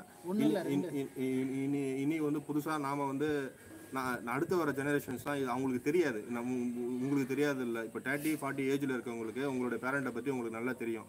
ஒரு விஷயத்தை செஞ்சு பழக்கப்பட்டாங்கன்னா அதே விஷயத்தில் தான் அதே விஷயத்தில் தான் கான்சென்ட்டாக நிற்பாங்க ஆனால் நீங்கள் அப்படி இல்லை. உங்களால் யோசிக்க முடியும். உங்கள் ஃப்ரெண்ட்ஸ் கிட்ட சொல்ல முடியும். உங்களுக்கு எல்லா விதத்துலேயும் எல்லா உரிமையும் இருக்குது ஆனால் அவங்களுக்கு அந்த அவங்களுக்கு அந்த அந்த நாலேஜ் அவங்களுக்கு உங்களுக்கு உங்களுடைய உங்கள் உங்கள் நம்மளுடைய பேரண்ட்ஸ்க்கு அந்த அளவுக்கு நாலேஜ் இல்லை. ஒரு சில பேரண்ட்ஸ் தான் நாலேஜ்ஃபுல்லாக இருந்தாங்க. பல பல பல பேர் இல்லாமல் இருந்தாங்க. அதுதான் அந்த காரணம். வருங்காலத்தில் இதே கட்சியை தொடர்ந்து ஆட்சி ஆட்சியில் இருக்க போது நிச்சயமாக பல இன்னும் பல மாற்றங்கள் வரப்போகுது. மாற்றங்கள் வரும். இன்னி இன்னி- இன்னைக்கு ஆளு இன்னைக்கு எது எது இன்னைக்கு எதிர்கட்சியாக இருக்கிறவங்க நாளை ஆளுங்கட்சியாக வரலாம். இன்னும் பத்து வருஷம் கழிச்சு அந்த அந்த கட்சி மாறலாம். நிறைய வாய்ப்புகள் இருக்கு. ஆனால் நல்லது யார் செய்கிறாங்களோ அவங்க பின்னாடி கடைசி வரைக்கும் நிற்கணும் எங்கே கூட வந்து நல்ல கட்சியா யார் யார் என்ன எனக்கு கூட அரசியல் ஆசை. இருக்கு. ராஜாவா? நல்லா- யார் சொல்லியிருக்கா? பிரசாந்த் நல்லா பேசுறீங்க ராஜா வந்து. அடுத்து எப்போ எந்த கண்ட்ரி நல்லா பண்றாங்கன்னு நினைக்கிறீங்க? இப்போ எந்த கண்ட்ரி நல்லா பண்ணுறாங்க? நீங்கள் நிச்சயமாக கியூபா தான். கியூபா மூல இந்த எப்- எப்போ எந்த கண்ட்ரி நல்லா பண்ணலான்னு கேட்டிருக்கீங்க? நிச்சயமாக கியூபா தான் இப்போ நல்லா பண்ணிகிட்டு இருக்காங்க ஏன்னா அவங்கள்ட்ட தான் one forty one sorry one ஃபிஃப்டிக்கு இன்ட்டு ஒன் அந்த ரேஷியோவில் டாக்டர்ஸ் இருக்காங்க. நூற்றி ஐம்பது மக்கள் தொகைக்கு நூற்றி ஐம்பது மக்களுக்கு ஒரு ஒரு மருத்துவர். அந்த அந்த விதத்தில் கியூபா தான் இன்றைக்கி சிறப்பாக செயல்பட்டுட்டு வருது. ரெண்டாவது உலகம் பூரா ரெண்டு லட்சம் மருத்துவர்கள் அமைச்சிருக்காங்க கியூபா. இன்னும் இன்னொரு இன்னொரு இன்னொரு சிறப்பை பற்றி கியூபாவுக்கு சொல்லணும்னா தமிழ்நாட்டிலையும் கேரளாலையும் கால்ரா தாக்கினப்ப கியூபாவிலேருந்து மருத்துவ குழு வந்துச்சு. மருத்துவ குழு வந்து கியூ நம்ம தமிழ்நாட்டிலையும் கேரளாலையும் சர்வீஸ் பண்ணிட்டு போகும்போது முருங்கைக்கீரையும் முருங்கை பூவையும் முருங்கை விதையும் கேட்டு வாங்கிட்டு போனாங்க. ஏன்னா அதில் வந்து அவ்வளோ அயன் கண்டென்ட் இருக்குது எங்கேயோ கியூபாவில் இருக்க இந்தி கியூபாவில் இருக்கவங்களுக்கு நம்ம தமிழ்நாட்டில் நம்ம கேரளாவில் இருக்கிற ம- முருங்கை முருங்கைக்கீரையை பற்றி தெரிஞ்சிருக்கு. நம்மள எத்தனை பேர் வீட்டில் முருங்கை மரம் இருக்குது சொல்ல முடியுமா? இல்லை. முருங்கைக்கீரையை அதிகமாக பயன்படுத்துவோம் கீரை வகைகளை அதிகமாக பயன்படுத்துவோம். அக்ரிகல்ச்சரை பயன்படுத்தும் அக்ரிகல்ச்சரை வளர விடுவோம். அக்ரிகல்ச்சரோட சேர்ந்து வளருவோம். அவ்வளோதான் நெக்ஸ்ட் கொஸ்டின் ராஜாக்கு வாட்டர் கொடுக்க சொன்னேன்டா. கொடுத்தாச்சுடா. எங்க வந்தது? வரவே இல்லை. அவங்க தான் குடிச்சிட்டு அப்படியே வச்சிருக்காங்க. இன்னும் தண்ணி வரல. இப்பதான் வருது. மிக்க நன்றி. நீங்க நீங்க கவனிக்கிற அளவுக்கு கூட இவங்க கவனிக்க மாட்டாங்க உணவே மருந்து. மருந்தே விவசாயம். மருந்து விஷயம் அதாவது நம்ம சின்ன வயசுல அதாவது நைன்டி கிட்ஸ் ஜெனரலாக இருந்தவங்களுக்கு இந்த விஷயம் தெரியும்னு நினைக்கிறேன். Agriculture is the backbone of India India backbone back போனுன்னு சொல்லி கடைசியில் அந்த பேக் போனே இல்லாமல் இப்போ இருக்கும். கண்டிப்பாக ஒருத்தன் ஒருத்தவங்களுக்கும் அந்த ஒரு உணர்வு கண்டிப்பாக இருக்கணும் விவசாயத்தை செய்யணும். விவசாயத்தை பற்றி ஒரு நிறைய நிறைய பேருக்கு நாலேஜ் இல்லாமல் இருக்காங்க. கண்டிப்பாக நீங்கள் கூகுள் சர்ச் பண்ணும்போது அக்ரிகல்ச்சரை பற்றி படிங்க. அதை பற்றி அவேர்னஸ் கிரியேட் பண்ணுங்கள் அதை பற்றி ஒருத்தன் ஒருத்தவங்க தன்னுடைய பிள்ளைகள்கிட்டையும் சொல்லி வளருங்க.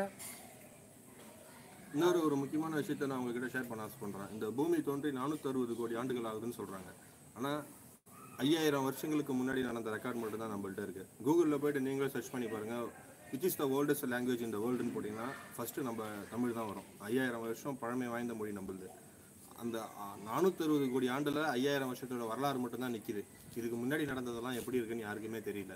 அதே மாதிரி இங்கேருந்து இப்போ பூமியிலேருந்து நிலா அஹ், நிலாவுக்கு வந்து மூணு லட்சத்தி எண்பத்தி நாலாயிரம் கிலோமீட்டர்னு சொல்கிறாங்க இவ்வளோ தொலைவில் இருக்க ஒரு கண்டம். இந்த மாதிரி ஒம்பது நிறைய கண்டங்கள் இருக்குது ஒரு ஒரு நாளைக்கு ஒவ்வொரு ஒவ்வொரு தடவை ஒவ்வொரு கண்டங்கள் புதிய கண்டங்கள் உரு உருவாகுது. அந்த கண்டங்களில் மனுஷங்க வாழறாங்களா வாழலையா? அதை பற்றிலாம் ஆராய்ச்சி பண்ணிட்டு இருக்கோம். ஆனால் இன்னமும் நாம் வந்து நம்ம நம்ம நம்ம நாட்டில் நம்ம பூமியில் இருக்க இடத்துல பூமிக்குள்ளே ஒரு பள்ளத்தில் ஏதாவது யாராவது ஊந்துட்டாங்கன்னா அவங்கள காப்பாற்றுறதுக்கு எந்த விதமான கருவியும் இல்லை. விஞ்ஞானிகள் அந்த கருவியை கண்டுபிடிப்பாங்க அப்படின்னு அப்படின்னு நான் நம்புகிறேன் அப்துல் கலாமை பற்றி இன்னொரு விஷயமும் உங்ககிட்ட இப்போ நான் பகிர்ந்துக்க ஆசைப்பட்றேன். ஒரு ஹேண்டிகேப்டட் ஸ்டூடெண்ட் ஒருத்தர் இருந்தான். அவனுக்கு வந்து கால் கிடையாது. கால் கிடையாதனால அவனுக்கு கட்டைக்கால் தான். கட்டைக்காலுடைய வே வெயிட் வந்து கிட்டத்தட்ட நாலரை கிலோக்கு மேலே இருக்கும். அதை தூக்கிட்டு அவனால் நடக்க முடியல. உடனே அதை அது அந்த அவங்க பேரண்ட் வந்து அப்துல் கலாம் ஒரு லெட்டர் எழுதியிருந்தாங்க. சாரி அப்துல் கலாம் அப்துல் கலாம் சொல்கிறேன் நம்மளோட நம்ம நம்மளுடைய ஜனாதிபதி முன்னாள் ஜனாதிபதி. அவர் அப்துல் கலாம் சார் அதை பார்த்துட்டு என்ன பண்ணாருன்னு சொன்னாக்கா வெறும் நா நானூற்றம்பது கிராமில் ஃபுல் லெக்கையும் தயாரித்து மெட்டல் மெட்டாலிக் ஸ்டிக்கில் அந்த லெக்கை தயாரித்து அந்த பையனுக்கு அதை சூட் பண்ணி அவனை நடக்க வச்சு பார்த்தாரு. இந்த மாதிரியான மாற்றங்களை வந்து மக்கள் மத்தியில் அதிகமாக கொண்டு வரணும்னு நினைக்கிறேன். டிஎன்ல என்ன ஃபேமஸ்னு சொல்லுங்கள் இந்த டீ என்ன தமிழ்நாட்டில் என்ன ஃபேமஸ் இதில் இதில் என்ன கேள்வி இருக்குது தமிழ்நாட்டில் ஒவ்வொன்றுக்கும் ஒவ்வொரு இப்போ புதுக்கோட்டை கடலை மிட்டாய் ஃபேமஸ் குறி குறி குறிசார் குறியீடு கிடச்சிருச்சு உலக நாடுகள் ஏற்றுமதி பண்ணலாம் தஞ்சாவூரில் நெல் ஃபேமஸ் இந்த மாதிரி இந்த மாதிரி ஒவ்வொரு ஊருக்கும் ஒவ்வொரு சிறப்பு இருக்குது திண்டுக்கல்லில் ஃபுட் ஃபுட்டு ஃபேமஸ் திருநெல்வேலியில் அல்வா ஃபேமஸ் தென்காசியில் குற்ற குற்றாலத்தில் அறிவு ஃபேமஸ் நம்ம நம்ம நாடே தமிழ்நாடே சிறப்பு தான் சிறப்புன்னு சொல்கிறது தமிழ்நாட்டில் என்ன இருக்குது தமிழ்நாடே சிறப்பு தான் உங்களுக்கு பிடிச்ச political leader political leader Che Guevara? Che Guevara Che எனக்கு பிடிச்ச ஷேக் பொலிட்டிக்கல் லீடர் ஷேக் வரா. ஏன்னா அவர் புரட்சி ஏற்படுத்தியிருக்காரு புரட்சியாளர். கம்யூனிஸ்டில் பார்த்தீங்கன்னா ஸ்டாலின். மோஸ்ட்லி என்னன்னு இருக்குல்ல. அது டிபேட் அவங்களுக்கு தெரியாது. மோஸ்ட்லி என்னென்னு இருக்குல்லன்னா என்னது? தமிழ்நாட்டில் என்ன ஃபேமஸ்னு கேட்டாங்களே இப்போ நம்ம எல்லாத்தையும் சொன்னோம். மோஸ்ட்லி என்னென்னு இருக்குல்ல அப்படின்னு கேட்குறாங்க தமிழ்நாடுனாலே விவசாயம் தாங்க ஃபேமஸ் அதை தவிர வேற எதுவும் இல்லைங்க. அதுக்கு அப்புறம் தாங்க மீதி எல்லாமே. தமிழ்நாடு தமிழ்நாடுன்னு தமிழ்நாட்டில் என்ன ஃபேமஸ்னு கேட்டிங்க அதை நான் வந்து டீட்டெயிலாக உங்களுக்கு சொல்லணும்னு ஆசைப்பட்றேன். தமிழ்நாட்டில் மொத்தம் மூணு ஃபோர்ட் இருக்குது ஜார்ஜ் ஃபோர்ட் டேவிட் ஃபோர்ட் இன்னொரு ஃபோர்ட் இருக்குது அது பேர் என்னன்னு எனக்கு தெரியல. அது ஒன்று வந்து கடலூரில் இருக்குது டேவிட் ஃபோர்ட் ஜார்ஜ் ஃபோர்ட் நம்ம தமிழ்நாட்டுடைய சட்டமன்றம் அங்கே தான் இயங்குது. அதை தவிர மெட்ராஸ் சென்னையில் பார்த்தீங்கன்னாக்கா ஆசியாவிலேயே மிகப்பெரிய கடற்கரை இருக்குது அந்த கடற்கரை அந்த கடற்கரை தான் என் மிகப்பெரிய இரண்டாவது பெரிய கடற்கரை. அதுதான் நம்மளுடைய சிறப்பு. அங்கே நம்ம தமிழ்நாட்டை சேர்ந்த படம் நாலு லீடர்களுடைய சமாதி அங்கே தான் இருக்குது அதில் முதல்ல முதல்ல யாருதுன்னு பார்த்தீங்கன்னாக்கா பேரறிஞர் அண்ணா அண்ணா அண்ணாவோட சமாதி அங்கே இருக்குது அதுக்கப்புறம் அதுக்கப்புறம் யாருதுன்னு பார்த்தீங்கன்னா எம்ஜிஆர். கிட்டத்தட்ட பதிமூன்று ஆள் காலம் நம்ம தமிழ்நாட்டை ஆண்ட அவருடைய சமாதி அங்கே இருக்குது ஜெயலலிதா அவங்களுடைய சமாதி இருக்குது அதுக்கப்புறம் கருணாநிதி அவங்களுடைய சமாதியும் இருக்குது அதை தாண்டி அதை தாண்டி ஒவ்வொரு ஊருக்கும் ஒவ்வொரு சிறப்பு இருக்குது அதை நான் இப்போ உங்கள்கிட்ட சொல்லியிருக்கேன். ஏற்கனவே திரும்ப சொல்ல விரும்பவில்லை. Is kissing allowed in India kissing allowed in India முத்தமா? ஆ. நிச்சயமா ஒவ்வொருத்தரும் முத்தம் கொடுக்கணும். இதுல இதுல என்ன இதுனா ஒரு கேள்வி? முத்தம் கிசிங் அலோடு இந்தியாவான்னு கேக்குறீங்க. பப்ளிக்காக கேட்குறீங்களா ரூமில் கேட்குறீங்களா அது நம்மளுடைய கலாச்சாரத்தை பப்ளிக்காக கொடுக்கறது நம்மளுடைய கலாச்சாரம் கிடையாது. அதுக்கு தான் திருமணம்ன்றது இருக்கு தாம்பத்தியம்னு ஒன்று இருக்கு. அங்க நீங்க முத்தம் கொடுங்க எது வேணா கொடுங்க. யாரும் உங்களை எதுவும் கேட்க போறதில்ல. சாரி அது கொஞ்சம் அவர் யோசிக்காம சொல்லிட்டாரு. இது பப்ளிக்ன்ற சொல்றதை விட இது ஒரு ஜென்ரலான ஒரு விஷயன்றதுனால அவர் ஓப்பனாக சொல்லிட்டாரு. ஏன்னா நம்ம மக்களை பொறுத்த வரைக்கும் எதை பப்ளிக்காக செய்யணும் எதை ப்ரைவேட்டாக செய்யணும் அப்படின்ற ஒரு விஷயம் இல்லை. இந்த ஒரு விஷயத்த வந்து பப்ளிக்காக சொன்னதில் எந்த தப்பும் இல்லைன்னு எனக்கு தோணுது. ஏன்னா இது ஒரு இயல்பான ஒரு மனிதனுக்கு ஒரு இயல்பான ஒரு விஷயம். ஆனால் நம்ம மக்களை பொறுத்த வரைக்கும் எதை த தனிமையில் செய்யணும் எதை வந்து ப்ரைவேட்டாக செய்யணுமோ அதை இப்போ பப்ளிக்காக செஞ்சுக்கிட்டு இருக்காங்க. எதை வந்து பப்ளிக்காக செய்யணுமோ அதை ப்ரைவேட்டாக செஞ்சுக்கிட்டு இருக்காங்க. அதனால் இந்த விஷயத்தை பொறுத்த வரைக்கும் மாற்று கருத்து எதுவும் இல்லை. படத்தில் அதை டைலாக் இருக்கு. ஃபாரினில் பிஸ் அடிக்க இயலும். ஆனால் பிஸ் அடிக்க இயலாது.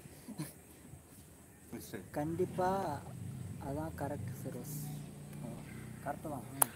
ஓகே அடுத்த கேள்வி கேட்கலாம். நெக்ஸ்ட் கொஸ்டின்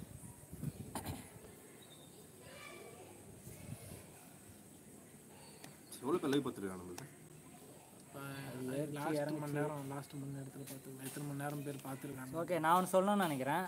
இது நிறைய பேர் கேட்டிருந்தீங்க இந்த கிரிப்டோ கரன்சி வித்ட்ரால் பண்ணிட்டீங்களா காசு அப்படின்ட்டு. கிட்டத்தட்ட ஆயிடுச்சு. அதாவது மூணு ப்ரௌசர் பற்றி பேசியிருந்தேன். ஒரு ப்ரௌசரில் வந்து ரீச் ஆயிடுச்சு. இன்னும் நான் வித்ட்ரால் பண்ணல. வித்ட்ரால் பண்ணணும். அதை பற்றி நான் வீடியோ மேக்ஸிமம் போட்டால் போடுவேன். பார்ப்போம். போட முடிஞ்சால் நான் போடுறேன் உங்களுக்கு. அப்படி இல்லைனாக்கா என்னன்னு சொல்கிறேன் நான்.